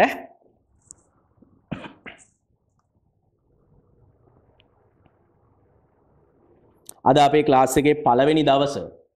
පළවෙනි දවසේ මම ඔයාලට ඔන්න කියලා දුන්නා. මම මුකුත් පාඩම් මුකුත් පටන් ගත්තේ නැහැ. ඊළඟ දවසේ අපි පාඩම් පටන් ගන්නවා. ඊළඟ දවසේ අපේ සිලබස් එකේ පළවෙනි පාඩම අපි පටන් ගන්නවා. පිළිවෙලට කරගෙන යන්නේ. පළවෙනි පාඩම අපි පටන් ගන්නවා. අද මොකුත් පාඩම් ඉගැන්වුවේ නැහැ. ඔයාට සිලබස් එක ගැන හැඳින්වීමක් කියන්නේ පුතේ. යන්නේ කොහෙද දැනගෙන යන්න ඕනේනේ. යන්නේ කොහෙද මල්ලේ පොල් හරියන්නේ නැහැ. හරි? යන්නේ කොහෙද හරියට දැනගෙන යන්න ඕනේ. එතකොට බයෝ එම්ස් අතන පුතේ මේ MCQ බයෝ 5යි IT 10යි maths 10යි physics 12යි chemistry 13යි ඈ. ඔය පේපර් දෙකට ලකුණු වෙන්නේ 50 50. ඉරිගහනකට 50යි MCQ එකකට ලකුණු එක ගාන එතකොට එනවා. සෙකන්ඩ් පේපර් එකට 50යි. ස්ට්‍රක්චර්ඩ් එකට 20යි මේකට 30යි. හරිනේ එතකොට 50 20යි 30යි 50 හැදෙනවා. මෙතන එක MCQ එකකට එක ගානේ 50යි. කොහොමයි එන්නේ? රයිට් ඕක නෝට් ඩවුන් කරගන්න දල වශයෙන් ඒක සීරියස් ඔච්චර අවශ්‍ය නැහැ. මොකද මේ ඉස්සරහට ඕක මම තව තැන්වලදී කියලා දෙනවා ඔයාට. දැනට ඕක පොඩ්ඩක් කටුසටහනක් දාගන්න. ඔය අවුරුදු දෙකක් ඉගෙනගෙන මෙන්න මෙහෙම පේපර් එකකට ලියනවා කියලා. ඒ පේපර් එකේ ලකුණු අනුව තීරණය වෙනවා ඔයා කැම්පස් යනවද නැද්ද කියලා. ලංකාවේ ලක්ෂ තුනක් ඒ ලෙවල් කරද්දි කැම්පස් යන්නේ 40000යි. රජයේ විශ්වවිද්‍යාලයකට සුදුසුකම් රජයේ විශ්වවිද්‍යාලවල ඇතුළත් වෙන්නේ 40000යි.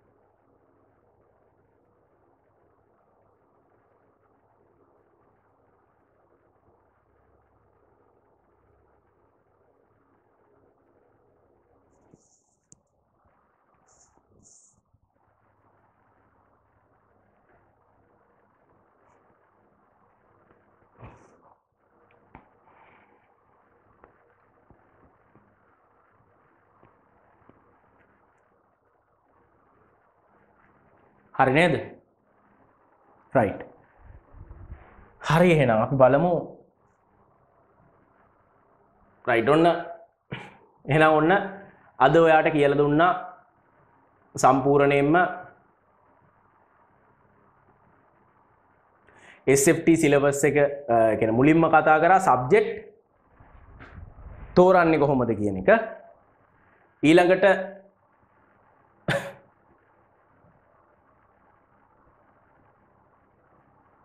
සබ්ජෙක්් තෝරන්නේ කොහොමද කියලා කියලා දුන්නා. ඊට පස්සේ SFT කියන්නේ මොකක්ද කියලා කියලා දුන්නනේ සයන්ස් ෆෝ ටෙක්නොලොජි තාක්ෂණ වේදය සඳහා විද්‍යාව. හරි ඒවා කියලා දුන්න. මොකක්ද SFT කියන්නේ කියලා. SFT කියන්නේ අනිවාර්ය සබ්ජෙක්ට් එක කියලා කිව්වනේ ටෙක් කරන හැමෝම SFT අනිවාර්යෙන් කරන්න ඕනේ. හරි. රයිට් ඊට පස්සේ කියලා දුන්නා SFT සිලබස් එකේ තියෙන පාඩම් 25 හරි. ඒක කොහොමද කැටගරයිස් වෙන්නේ කියලා. මැත්ස් වලට බයෝවලට ෆිසික්ස් වලට කෙමිස්ට්‍රි වලට IT වලට. ඊට පස්සේ පුතේ මැත්ස් පාඩම් පහ මොනවද කියලා කතා කරා.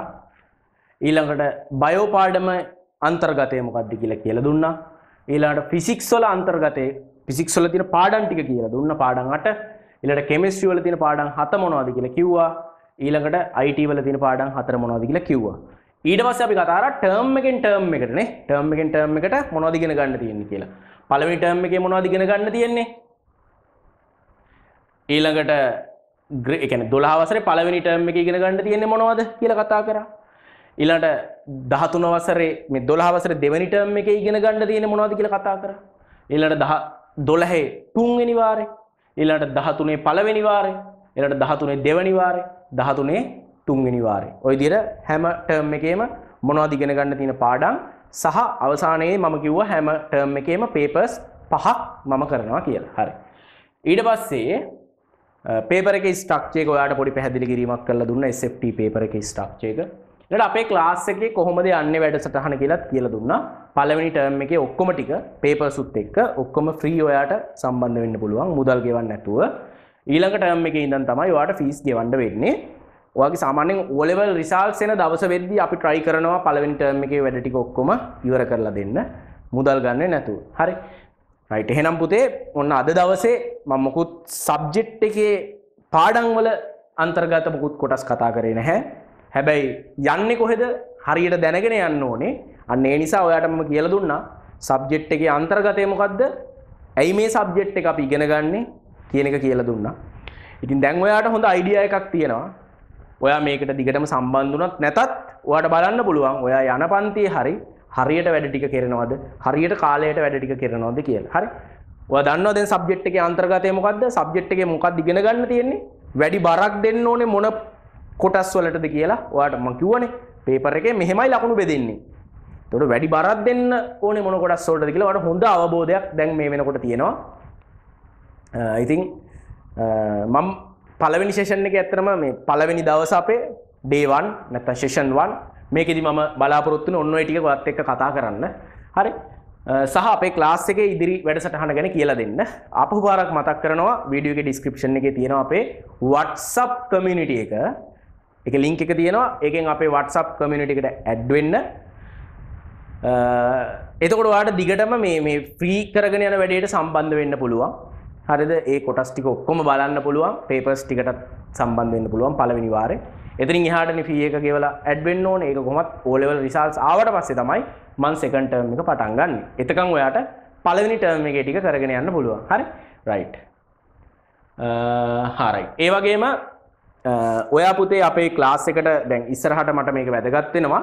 ඔයා අපේ ක්ලාස් එකට සම්බන්ධ වෙන්න බලාපොරොත්තු වෙනවා නම් ඔයා අපේ WhatsApp community එක ඇඩ් වුණොත් අනිවාර්යෙන් ඔයාගේ මෙන්න මේ details ටික මෙන්න මේ විදිහට එවන්න 2025 A level කියලා දාලා ඔයාගේ නම ඔයාගේ දිස්ත්‍රීක්කේ ඔයාගේ එඩ්‍රස් එක ඔයාගේ YouTube Gmail එක ඔයා දැනට යන හරි යන්න බලාපොරොත්තු වෙන හරි ඉස්කෝලේ නම යන ඉස්කෝලේ හරි යන්න බලාපොරොත්තු වෙන හරි මෙන්න මේ WhatsApp නම්බර එක තමයි මගේ WhatsApp නම්බර එක 071 36යි 39යි 794. ඕකට පුතේ WhatsApp message එකක් දාන්න මේ details ටික. ඔයාලට community එකට add වෙන්න පුළුවන්. add වුණාට පස්සේ මම කියවන අපිට ටියුට් නමයක් එවන්න තියෙනවා. ඒකට පොඩි cost එකක් යනවා. ඔයාට වියදමක් දරන්න වෙනවා. පළවෙනි වාරේ ටියුට් ටික ඔක්කොම ටියුට් 9ක් ඒ ටියුට් 9ට printing cost එක ඔයාලට දරන්න වෙනවා සහ කුරිය ෆී එක නම් ඔයාට ඒක පාර්සලේ ආවට පස්සේ ගෙවලා ගන්න පුළුවන් විදිහට හදලා දෙන්නම්. ඒක අවුලක් නෑ. ඒ මුදල විතරක් ඔයාලට මේකට දරන්න වෙනවා.